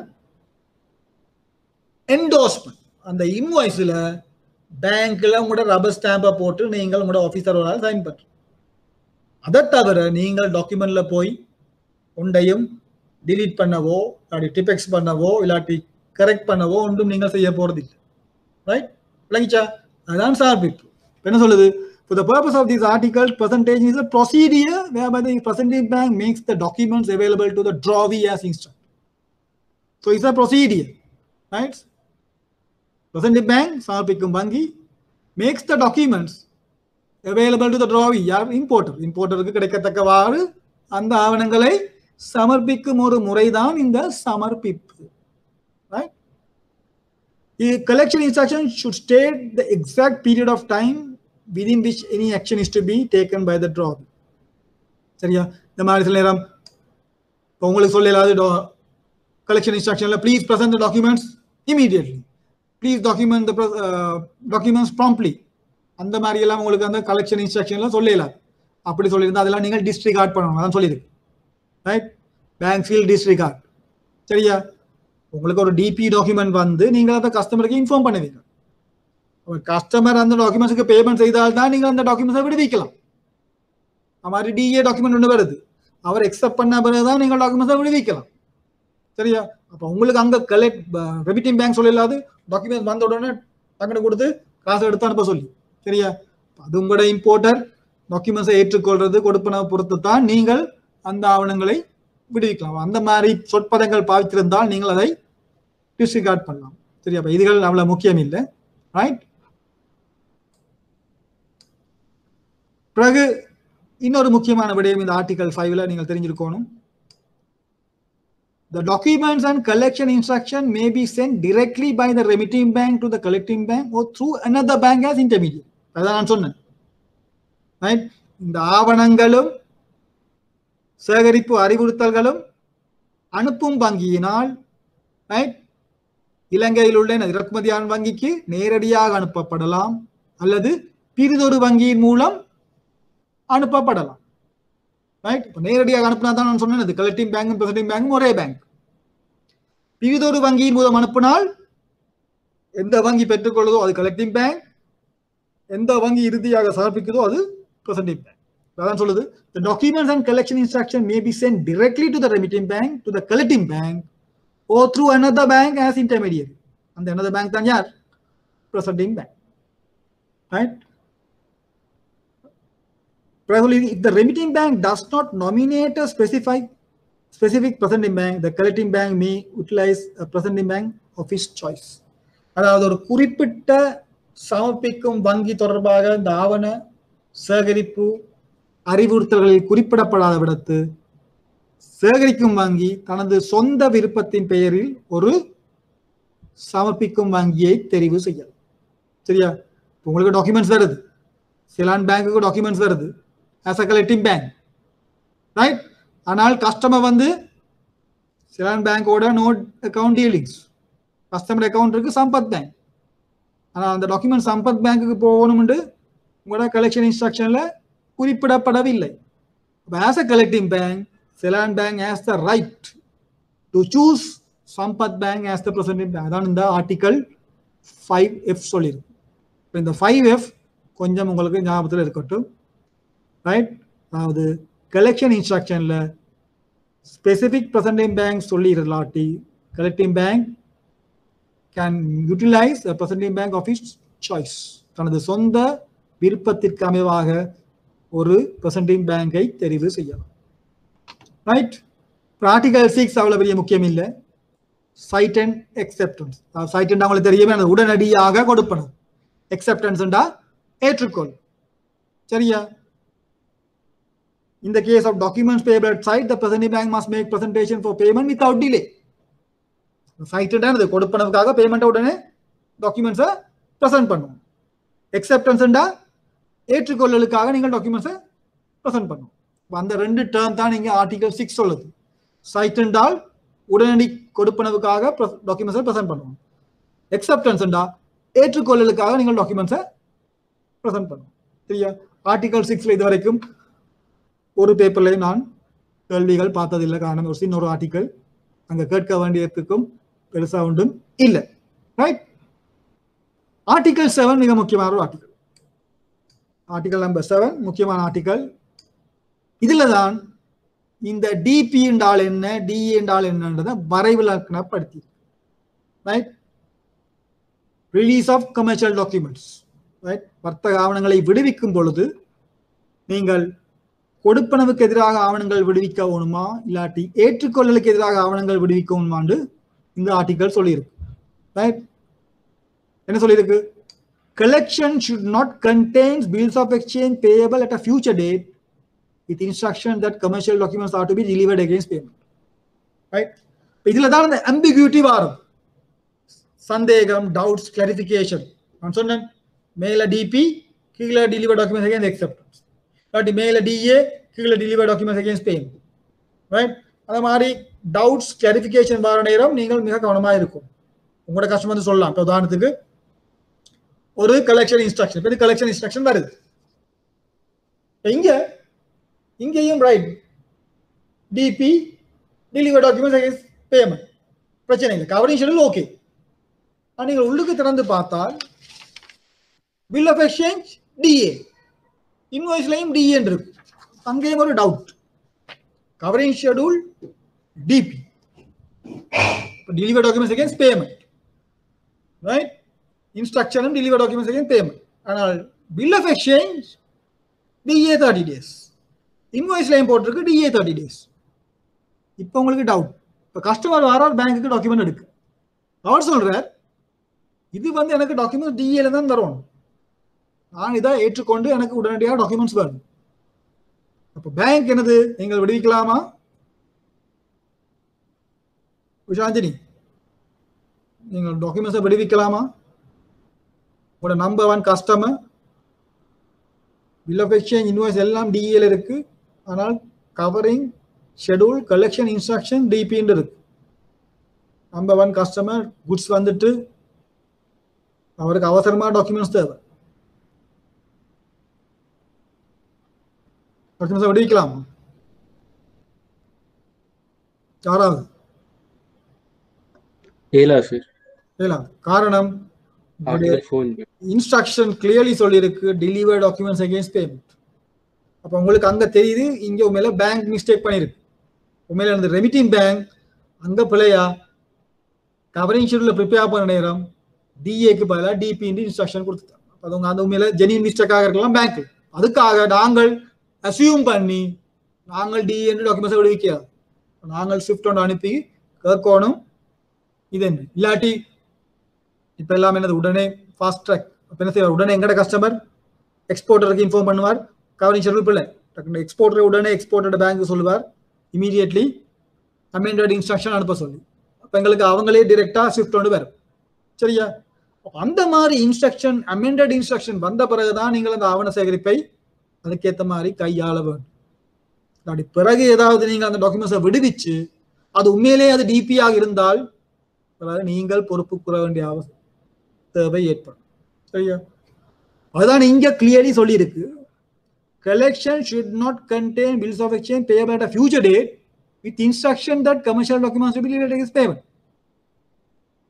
அப்போ ஒரு டாக்குமெண்ட் டிபியில் பே பண்ண விடுவிக்க வேண்டியதாக இருந்து அங்கே பில் ஆஃப் எக்ஸ்சேஞ்சை போய் டிஏல ப்ரிப்பேர் பண்ணுறதுல அர்த்தம் இல்லை. சரி அதான் சொல்லியிருக்கு. Should not contain bills of exchange payable at future date அப்போ அது பிள்ளை ரைட் அங்கே டாக்குமெண்ட்ஸ் ப்ரிப்பேர் பண்ண விதம் பிழை ரெண்டாவது if a collection contains a bill of exchange payable at a future date right வருங்கால திகதியிடப்பட்ட ஒரு மாற்றுண்டியல் பெற்றுக்கொள்ளப்படும் பொழுது the collection instruction should state whether the commercial documents to be released to the drawee against acceptance or payment இப்போ கூட bill of exchange DA thirty days இருக்கு அதாவது வருங்கால திகதியில் ஒரு டேட் அப்படி இருக்கிற நேரம் உங்களோட இன்ஸ்ட்ரக்ஷன்ல சொல்லலாம். Deliver documents to be payment or against acceptance சரியா? இப்போ அந்த ரெண்டு விதமாகவும் சொல்லலாம். அதுக்கேற்ற மாதிரி நீங்கள் அந்த ஆவணங்களை கையாளணும். சரியா?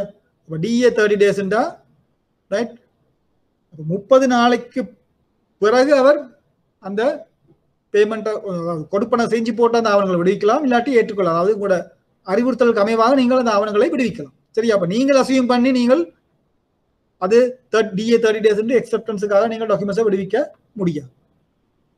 அப்புறம் இந்த அப்சன்ஸ் ஆஃப் சச் ஸ்டேட்மெண்ட் அதாவது மேல ஒரு விதமான அதாவது இந்த கலெக்ஷன் இன்ஸ்ட்ரக்ஷன்ல அது தொடர்பாக எதுவும் குறிப்பிடப்படாவிட்டால் என்ன செய்யணும்? You are authorized to release only against payment இந்த absence of such statement commercial documents will be released only against payment and the collecting bank will not be responsible for any consequences arising out of any delay in the delivery of சரியா? அப்ப DA thirty days இருக்கு டிராஃப்ட் உங்களோட இன்ஸ்ட்ரக்ஷன்ல எது விதமான கவரேஜ்ல எது விதமான இன்ஸ்ட்ரக்ஷன்ஸும் இல்லை. சரியா? அந்த மாதிரி சந்தர்ப்பத்தில் நீங்கள் மிக கவனமா இருக்கணும். உங்களோட கஸ்டமர் பே பண்ணி எடுத்தா பிரச்சனை இல்லை.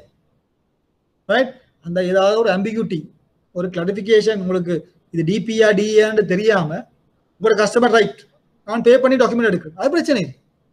ஏன் நீங்கள் அந்த பொருட்களுக்குரிய தொகையை பெற்றுக்கொண்டு தான் நீங்கள் ஆவணங்களை விடுவிக்கிறீங்க. அப்போ உங்களோட எக்ஸ்போர்ட்டர் சேஃப் கார்டன் சரியா? ஆனால் நீங்கள் கொடுப்பனவை பெறாமல் ஆவணங்களை விடுவித்து பிறகு அதற்கு ஏற்றுமதியாளர் இல்லை. இது கட்டாயம் கொடுப்பனவை பெற்ற பின்புதான் ஆவணங்களை விடுவித்திருத்தோம் என்று சொல்லியிருந்தால் பிறகு நீங்கள் liable. ஸோ அந்த அதுபடியா இந்த இன்ஸ்ட்ரக்ஷன்ஸ் கிளியராக இல்லாட்டி வெரிஃபிகேஷன்ஸ் சரியாக பெற்றுக்கொண்ட பின்பு தான் நீங்கள் இந்த ஆவணங்களை விடுவிக்கும். ரைட் இதுவும் அடிக்கடி நாங்கள் பேங்க்ஸில் ஃபேஸ் பண்ணுற ஒரு ப்ராக்டிக்கல் இஷ்யூ சரியா? கடைசி என்ன சொல்லுது? If a collection contains a bill of exchange payable at a future and the collection instruction indicates that commercial documents are to be released against payments documents will be released only against such payment and the collecting bank will not be responsible for any consequences arising out of any delay in the delivery of documents சரியா அப்ப future டேட்ல bill of exchange இருந்தாலும் right உங்களோட collection instruction பேமெண்ட்டுக்கு எகென்ஸ்டான அந்த டாக்குமெண்ட்ஸை விடுவிக்கணும் என்று சொல்லி இருந்தால் நீங்கள் அதன் பிரகாரம் பேமெண்ட் எடுத்துக்கொண்டு தான் நீங்கள் டாக்குமெண்ட்ஸை விடுவிப்பீர்கள் அப்போ அதனால் ஏற்படும் எந்த விதமான கால தாமதங்களுக்கோ ஏதாவது கோரல்களுக்கோ நீங்கள் பொறுப்பு கூற வேண்டிய அவசியம் இல்லை. காரணம் நீங்கள் தெளிவாக இந்த கலெக்ஷன் இன்ஸ்ட்ரக்ஷன்ஸுக்கு அமைவாகத்தான் நீங்கள் தொழிற்பட்டீர்கள் சரியா? ஆர்டிகல் செவன் மிக முக்கியமான ஒரு article article four article seven மிக முக்கியமான ஆர்டிகல்ஸ் சரியா கொஞ்சம் படிக்க வேண்டிய article right one two three five six எல்லாம் பார்த்தீங்கன்னா straightforward article four article seven கொஞ்சம் அப்ளிகபிள் ரைட் ஆர்டிகல் எயிட் மிக முக்கியமான ஒரு ஆர்டிகல் இன்னொரு article creation of documents right Rushanthini கேட்ட கேள்வி. ரைட் இந்த டிஏ டாக்குமெண்ட் ஒன்று வந்து பில் ஆஃப் எக்ஸ்சேஞ்ச் ஒன்று இல்லாட்டி என்ன செய்ய போறீங்க? சரியா?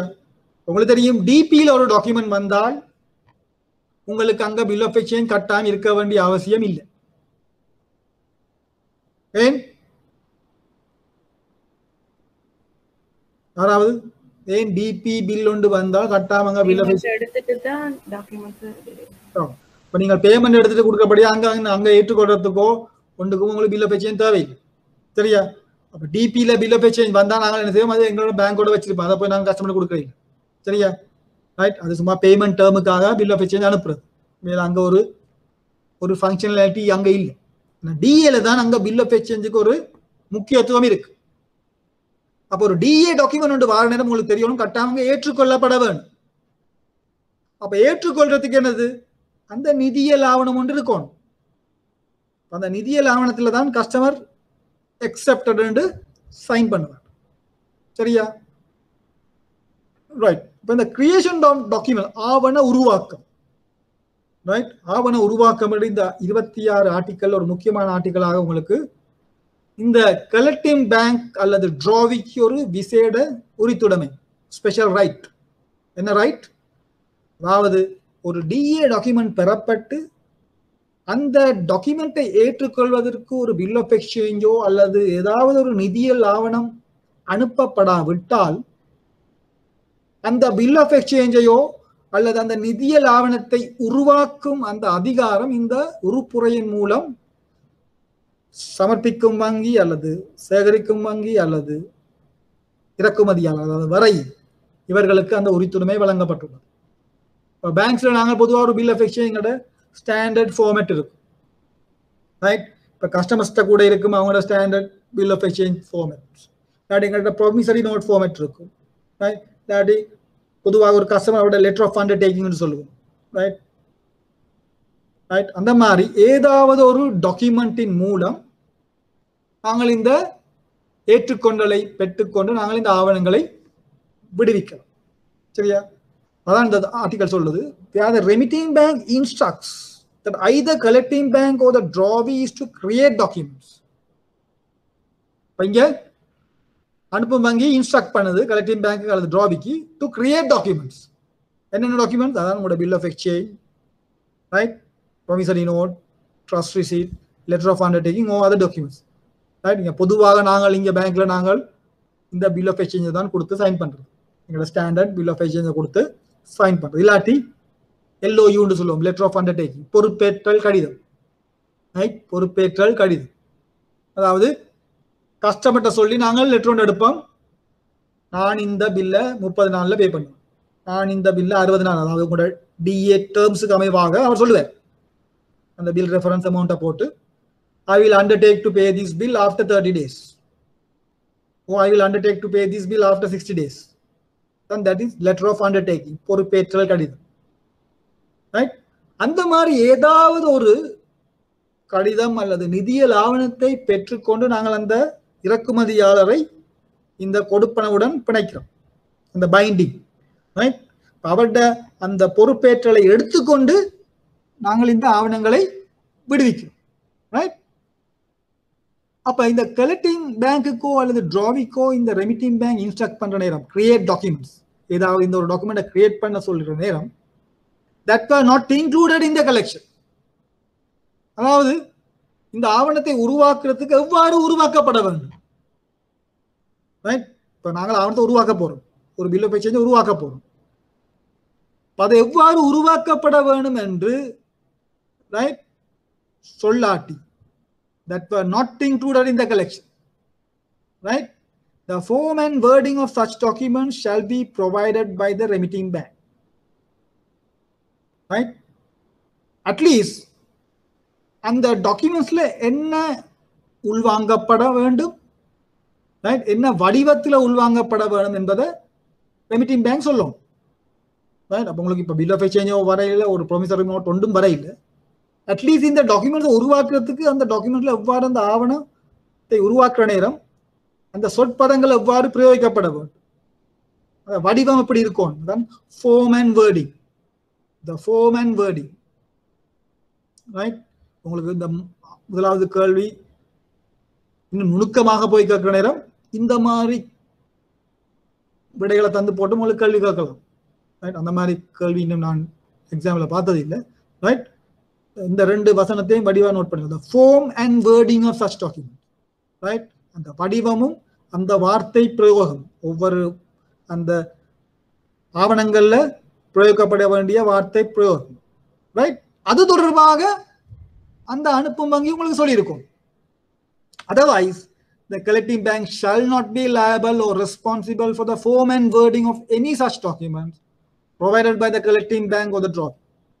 அவங்களுக்கு உங்களுக்கு அறிவிக்கும் அந்த அனுப்பும் வங்கி அது தொடர்பாக எதுவும் குறிப்பிடப்படாவிட்டால் நீங்கள் சேகரிக்கும் வங்கியோ சமர்ப்பிக்கும் வங்கியோ அல்லது உங்களுடைய வாடிக்கையாளரோ உங்களுடைய சொந்த தெரிவில் எனது நீங்கள் ஏதாவது ஒரு வடிவத்தில் உங்களுக்கு ஏற்ற சொற்பிரயோகங்களை பாவித்து நீங்கள் அந்த ஆவணங்களை ஏற்று அதுதான் உங்களுக்கு விளங்கணும் மெயின் டாக்குமெண்ட்ஸ் கிரியேஷன்டா என்ன? அது எப்படி கிரியேட் பண்ணப்படுது இது உங்களோட பழைய சிலபஸ்ல முந்தைய அடிக்கடி வர கேள்வி இப்படி. ஒரு டாக்குமெண்ட் தந்து போட்டு டாக்குமெண்ட் ஒன்று வருது பில் ஆஃப் எக்ஸ்சேஞ்ச் இல்லை ஆனால் பிறகு உங்களோட கஸ்டமர் தரார் எப்படி பிறகு அவர் ஏற்றுக்கொண்டு பிறகு டாக்குமெண்ட்ஸ் அவர் எடுத்து குட்ஸை கிளியர் பண்ணுறார் பிறகு டியூ டேட் வருது டியூ டேட்ல கஸ்டமர் பே பண்ண இல்லை. பே பண்ணாத நேரம் பிறகு நீங்கள் அந்த பில் ஆஃப் எக்ஸ்சேஞ்ச் ரிட்டர்ன் பண்ணி அனுப்பி வைக்கிறீங்க ரெமிட்டிங் பேங்க்கு பிறகு ரெமிட்டிங் பேங்க் வந்து சொல்கிறாங்க இந்த பில் ஆஃப் எக்ஸ்சேஞ்சை நாங்கள் ஏற்றுக்கொள்ள முடியாது.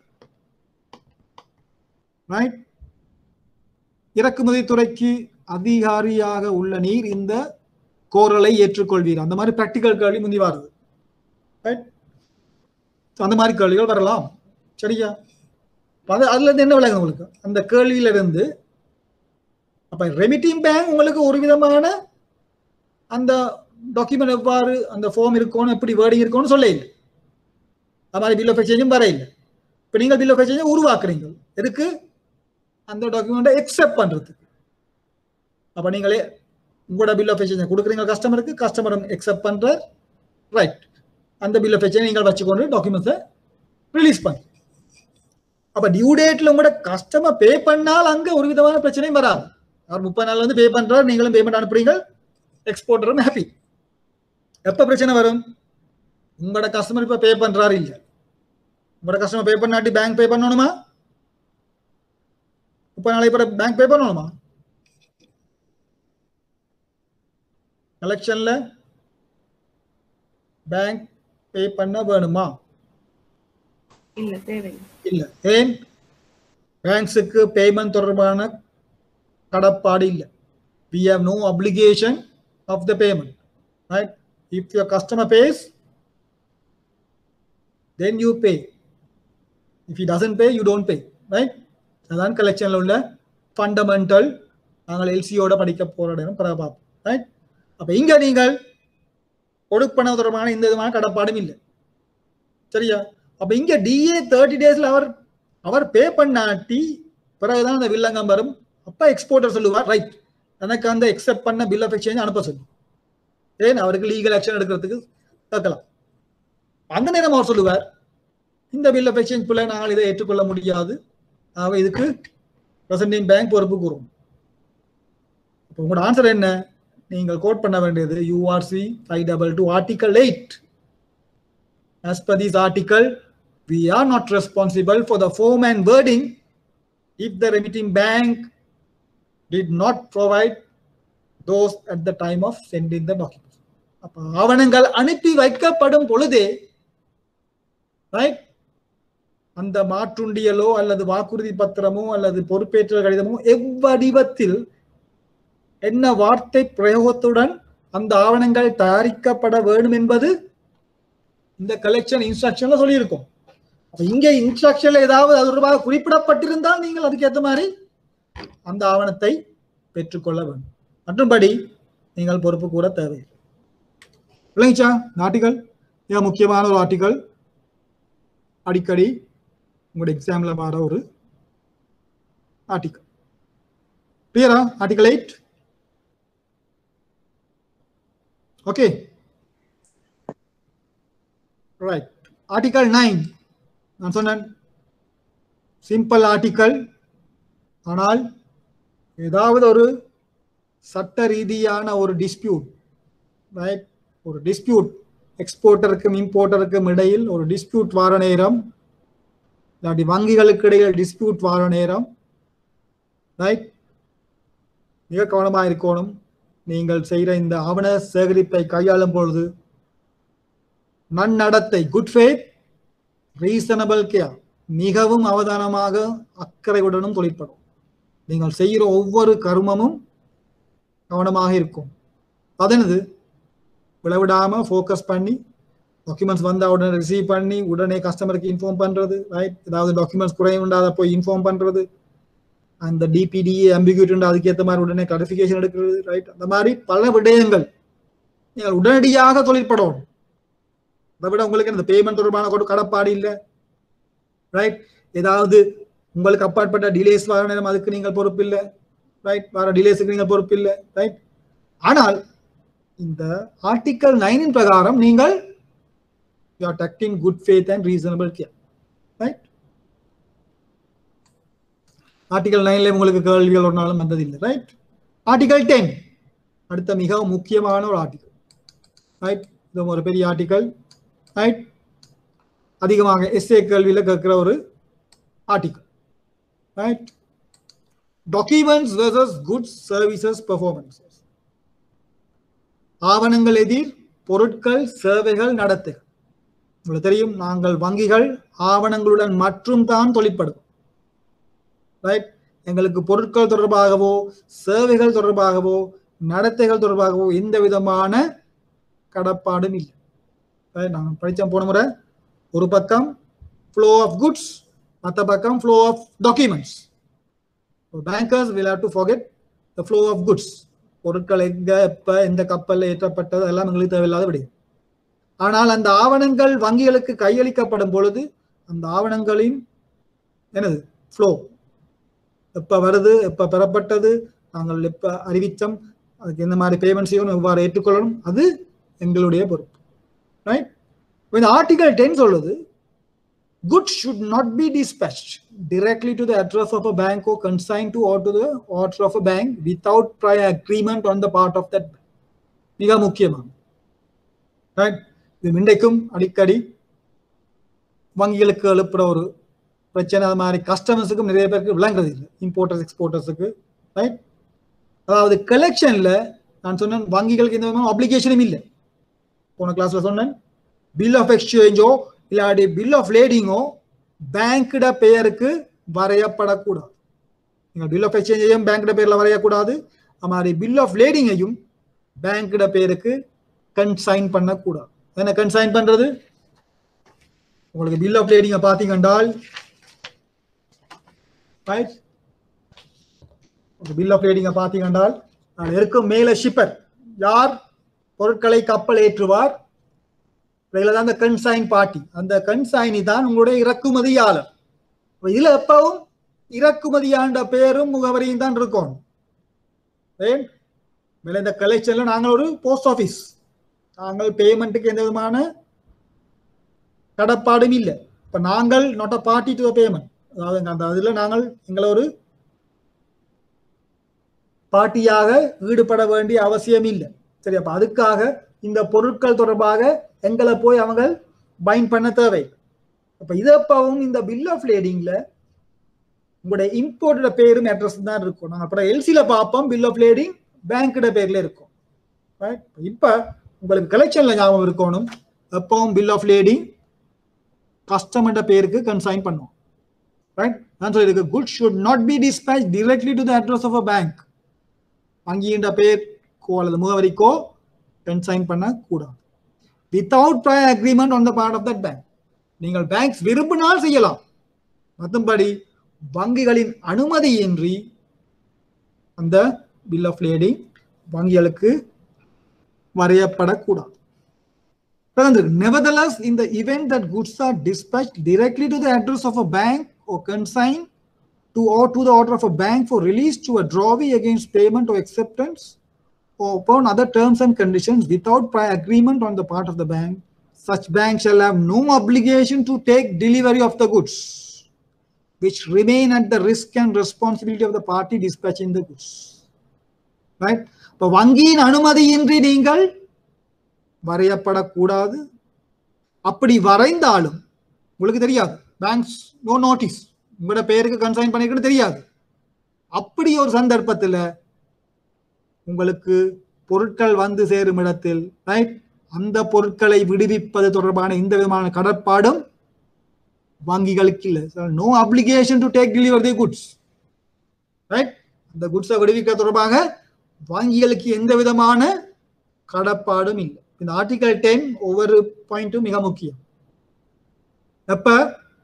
யூஆர்சி கேள்விகள் வார நேரம் எஸ்ஏ கேள்வியில் சில நேரம் உங்களோட கேள்விகள் வந்திருக்கு. இந்த ஆர்டிகல் டென்ல இந்த ஒவ்வொரு உப உறுப்புகளையும் கோட் பண்ணி கேட்டிருக்கு. சரியா? அது கொஞ்சம் உங்களுக்கு மினக்கட்டு படிக்கும்.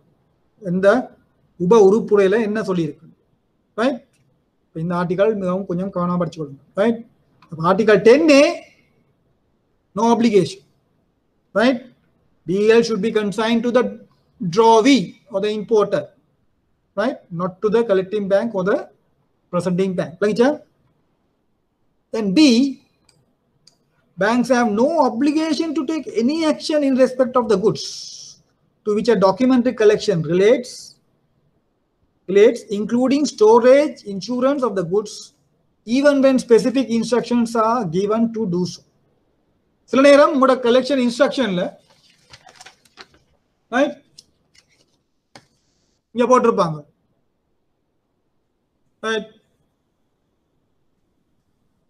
இந்த குட்ஸ் தொடர்பாக இந்த பொருட்கள் தொடர்பாக அந்த பொருட்கள் என்னது? களஞ்சியப்படுத்தப்பட்டு அதற்கு காப்புறுதியிடப்பட வேண்டும் அந்த மாதிரி சில விடயங்களை நீங்க உங்களுக்கு இன்ஸ்ட்ரக்ஷன்ல போட்டிருப்பாங்க.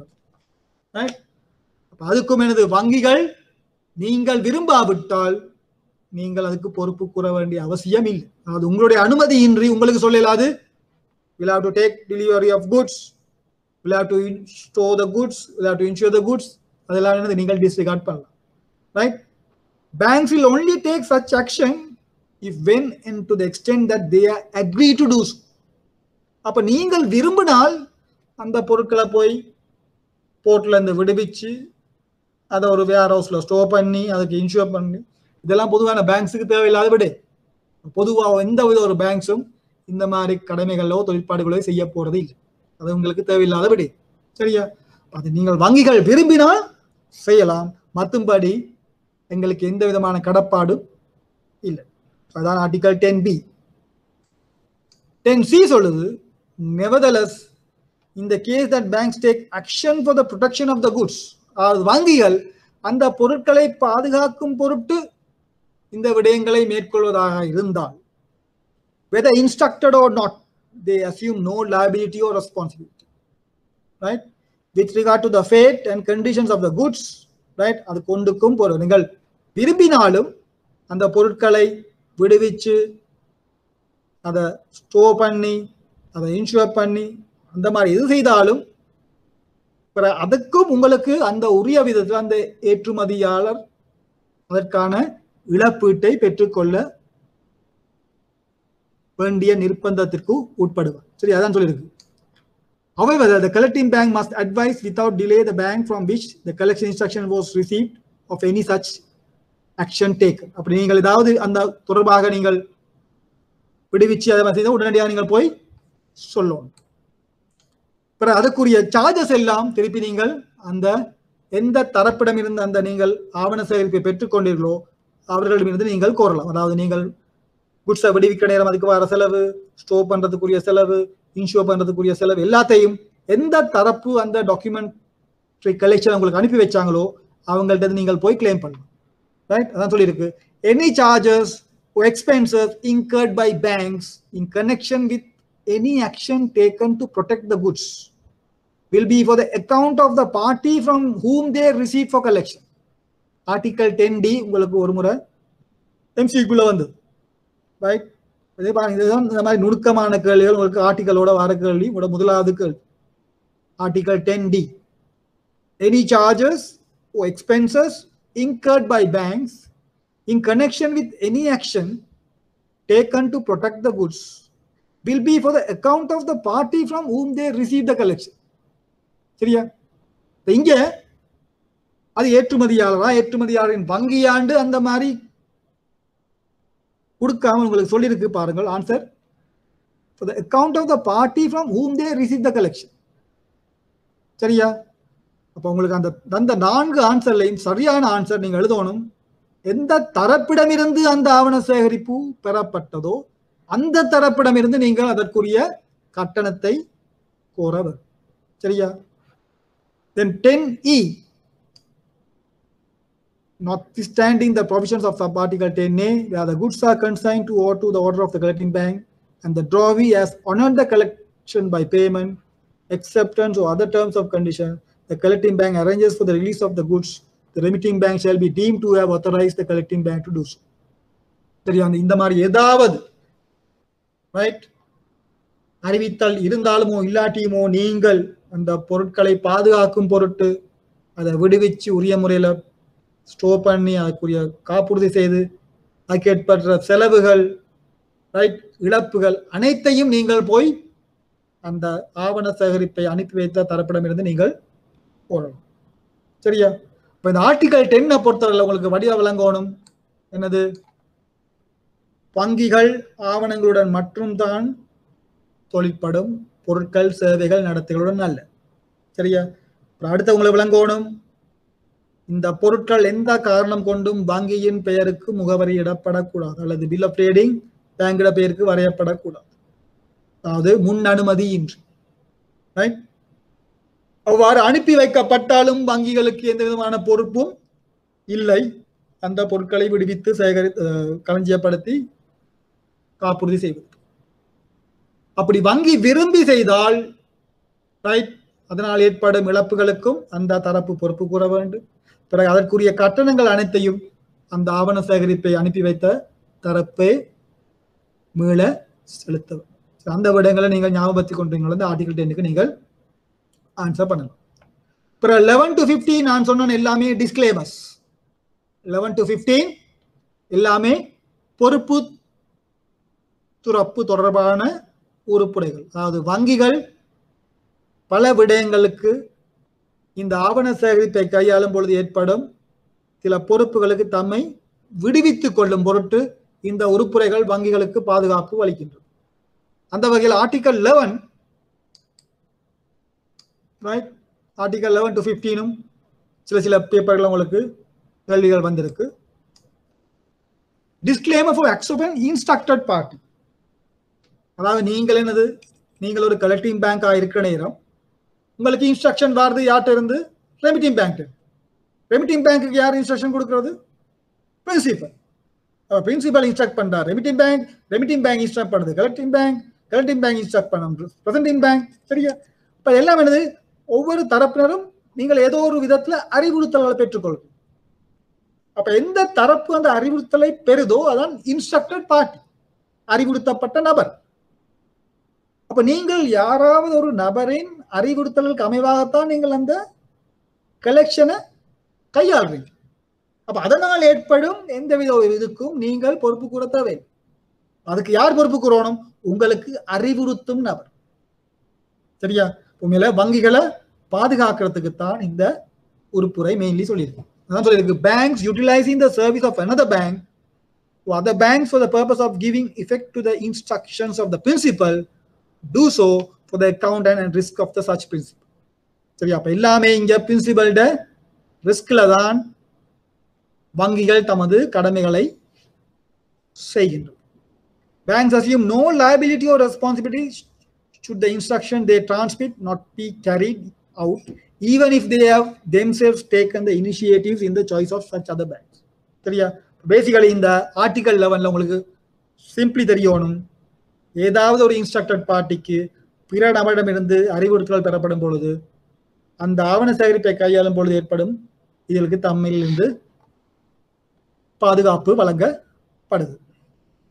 Article twelve disclaimer on documents receive இதான் அந்த பெறப்பட்ட ஆவணங்கள் தொடர்பான பொறுப்பு துறப்பு நான் சொன்னேன் உங்களோட கவரிங் ஷெடியூல்ல நம்பர் ஆஃப் டாக்குமெண்ட்ஸ் இணைக்கப்பட்டிருக்கு.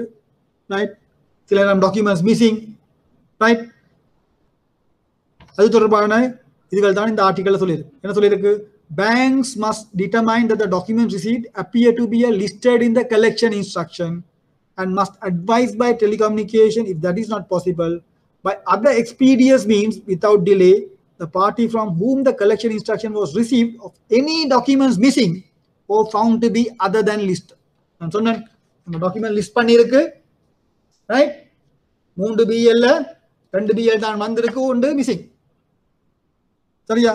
அப்ப ஆஸ் அ கலெக்டிங் பேங்க் ஒரு பிரசன்டிங் பேங்க் உங்களுக்கு இருக்க ஒரே ரெஸ்பான்சிபிலிட்டி அந்த டாக்குமெண்ட்ஸ் எல்லாம் இருக்காண்டு அதில் ஏதாவது ஒன்று மிஸ்ஸிங் என்றால் நீங்கள் உடனடியாக போய் ரெமிட்டிங் பேங்க்கு சொல்லணும். மூன்று பிஎல்ல ரெண்டு தான் இருக்கு.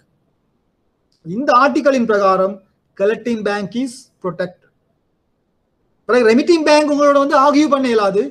இல்லை நாங்கள் மூன்று தான் அனுப்பினோம். ரெண்டு இருக்க முடியாது. ரைட் இங்க ஆர்டிக்கல்ல கலெக்டிங் பேங்க் அந்த ப்ரொடெக்ஷன் கொடுத்துருக்கு.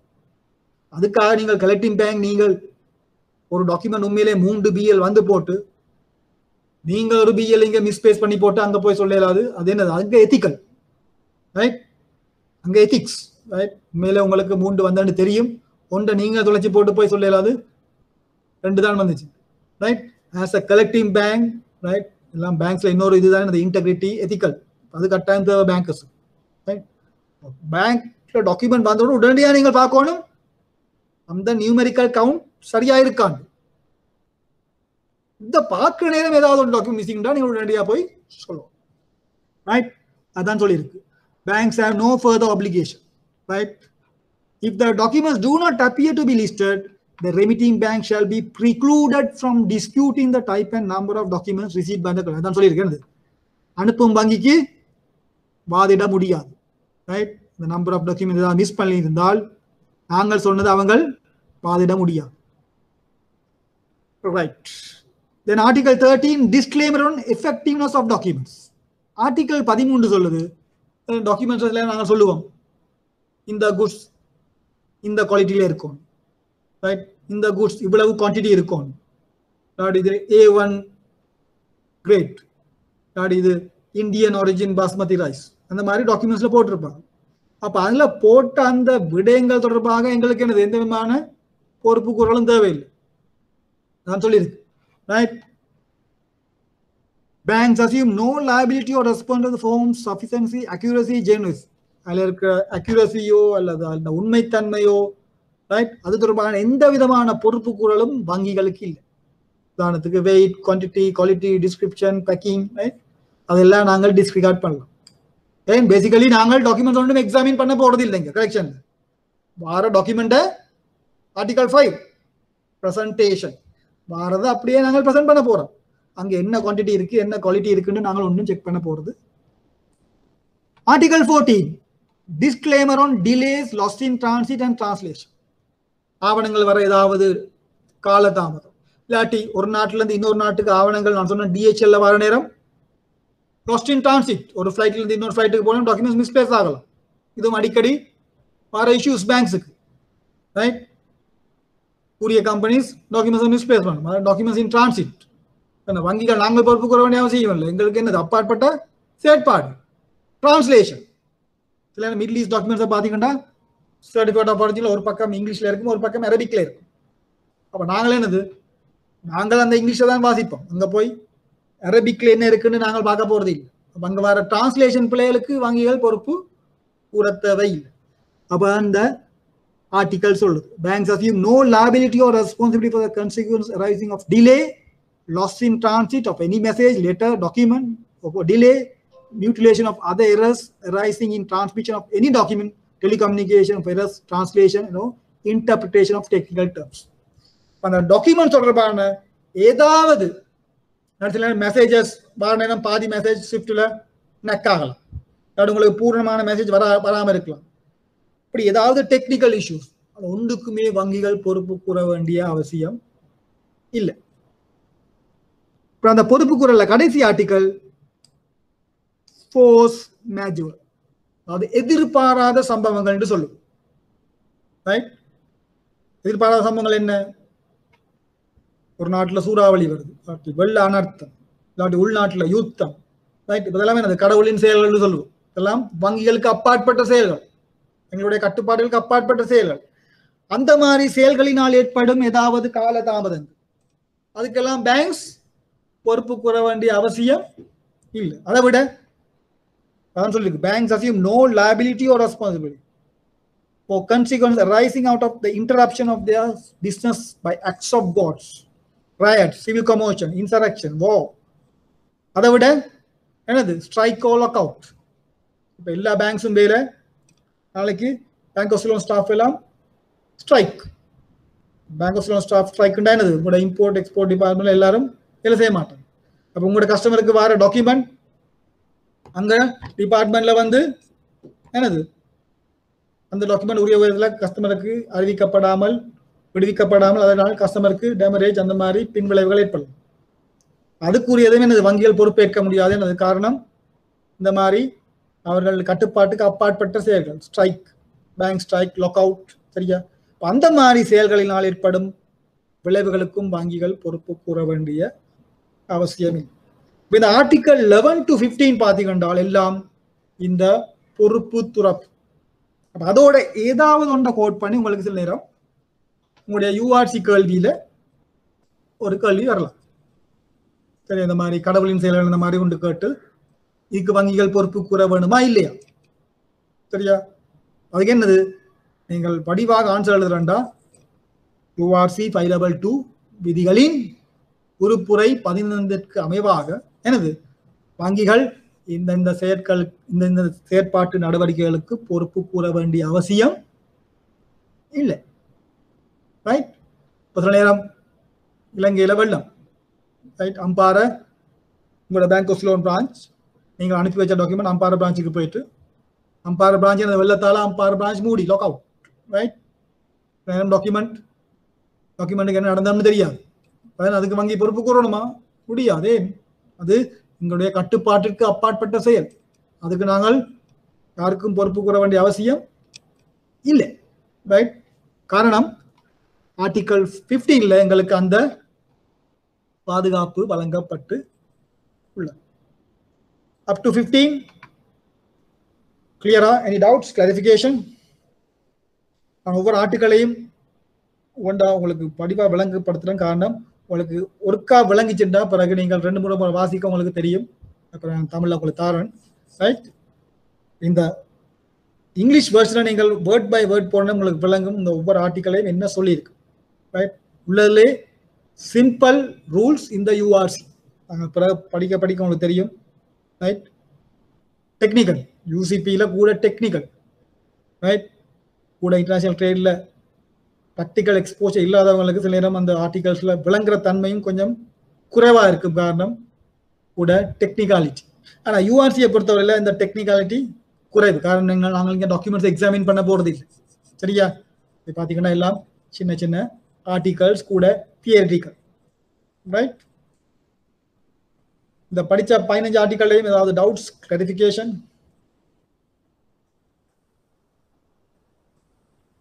இல்லை. ரைட் நாங்கள் நெக்ஸ்ட் கிளாஸ் இந்த மிச்சம் பதினாறு இருபத்தாறு பத்து ஆர்டிக்கல் இருக்கு. ரைட் அந்த பத்து ஆர்டிக்கலையும் ஒரு பார்த்து போட்டு இதன் கேள்விகளையும் பார்த்து போட்டு அடுத்த கிளாஸ்ல நாங்கள் எல்சி ஸ்டார்ட் பண்ணுவோம் ரைட் உங்களுக்கு பேசிக்கலி ஆகஸ்ட் செப்டம்பர் அக்டோபர் மூணு மாதம். என்ன? நவம்பர் எக்ஸாம் என்றால் மூன்று மாதம். ரைட் மூன்று மாதத்துக்குள்ளே நாங்கள் எல்லாத்தையும் கா பண்ணணும். உங்களுக்கு தெரியும் இன்டர்நேஷனல் ட்ரேட் வாஸ்ட் ஏரியா கூட டெக்னிக்காலிட்டி இருக்குது ரைட் எல்சிஎம் நாங்கள் பார்த்து போட்டு பிறகு நாங்கள் அந்த ஃபாரின் எக்ஸ்சேஞ்ச் கேல்குலேஷன்ஸுக்கு போவோம். நான் சொன்னேன் இந்த இருபது மார்க்ஸ் ஈஸியாக எடுக்கக்கூடிய கேள்வி. ரெண்டு கணக்கு இருக்கு. இந்த ரெண்டு கணக்கும் நீங்கள் வடிவாக செஞ்சீங்கன்றால் ஃபுல் மார்க்ஸ் ஈஸியாக எடுக்கலாம். அதோட இந்த மாதிரி யூஆர்சி சிம்பிள் ரூல்ஸாக படிச்சீங்கன்னா நீங்கள் ஈஸியாக எக்ஸாம் பாஸ் பண்ணலாம். ரைட் இன்றைக்கு இதோட நிப்பாட்டுவோம். Next class Saturday ten thirty so ஒருக்கா? இந்த ஆர்டிகல்ஸ் ஒருக்கா ரெண்டு மூணு முறை வாசிக்கும் ரைட் உங்களுக்கு வடிவா? விளங்கு.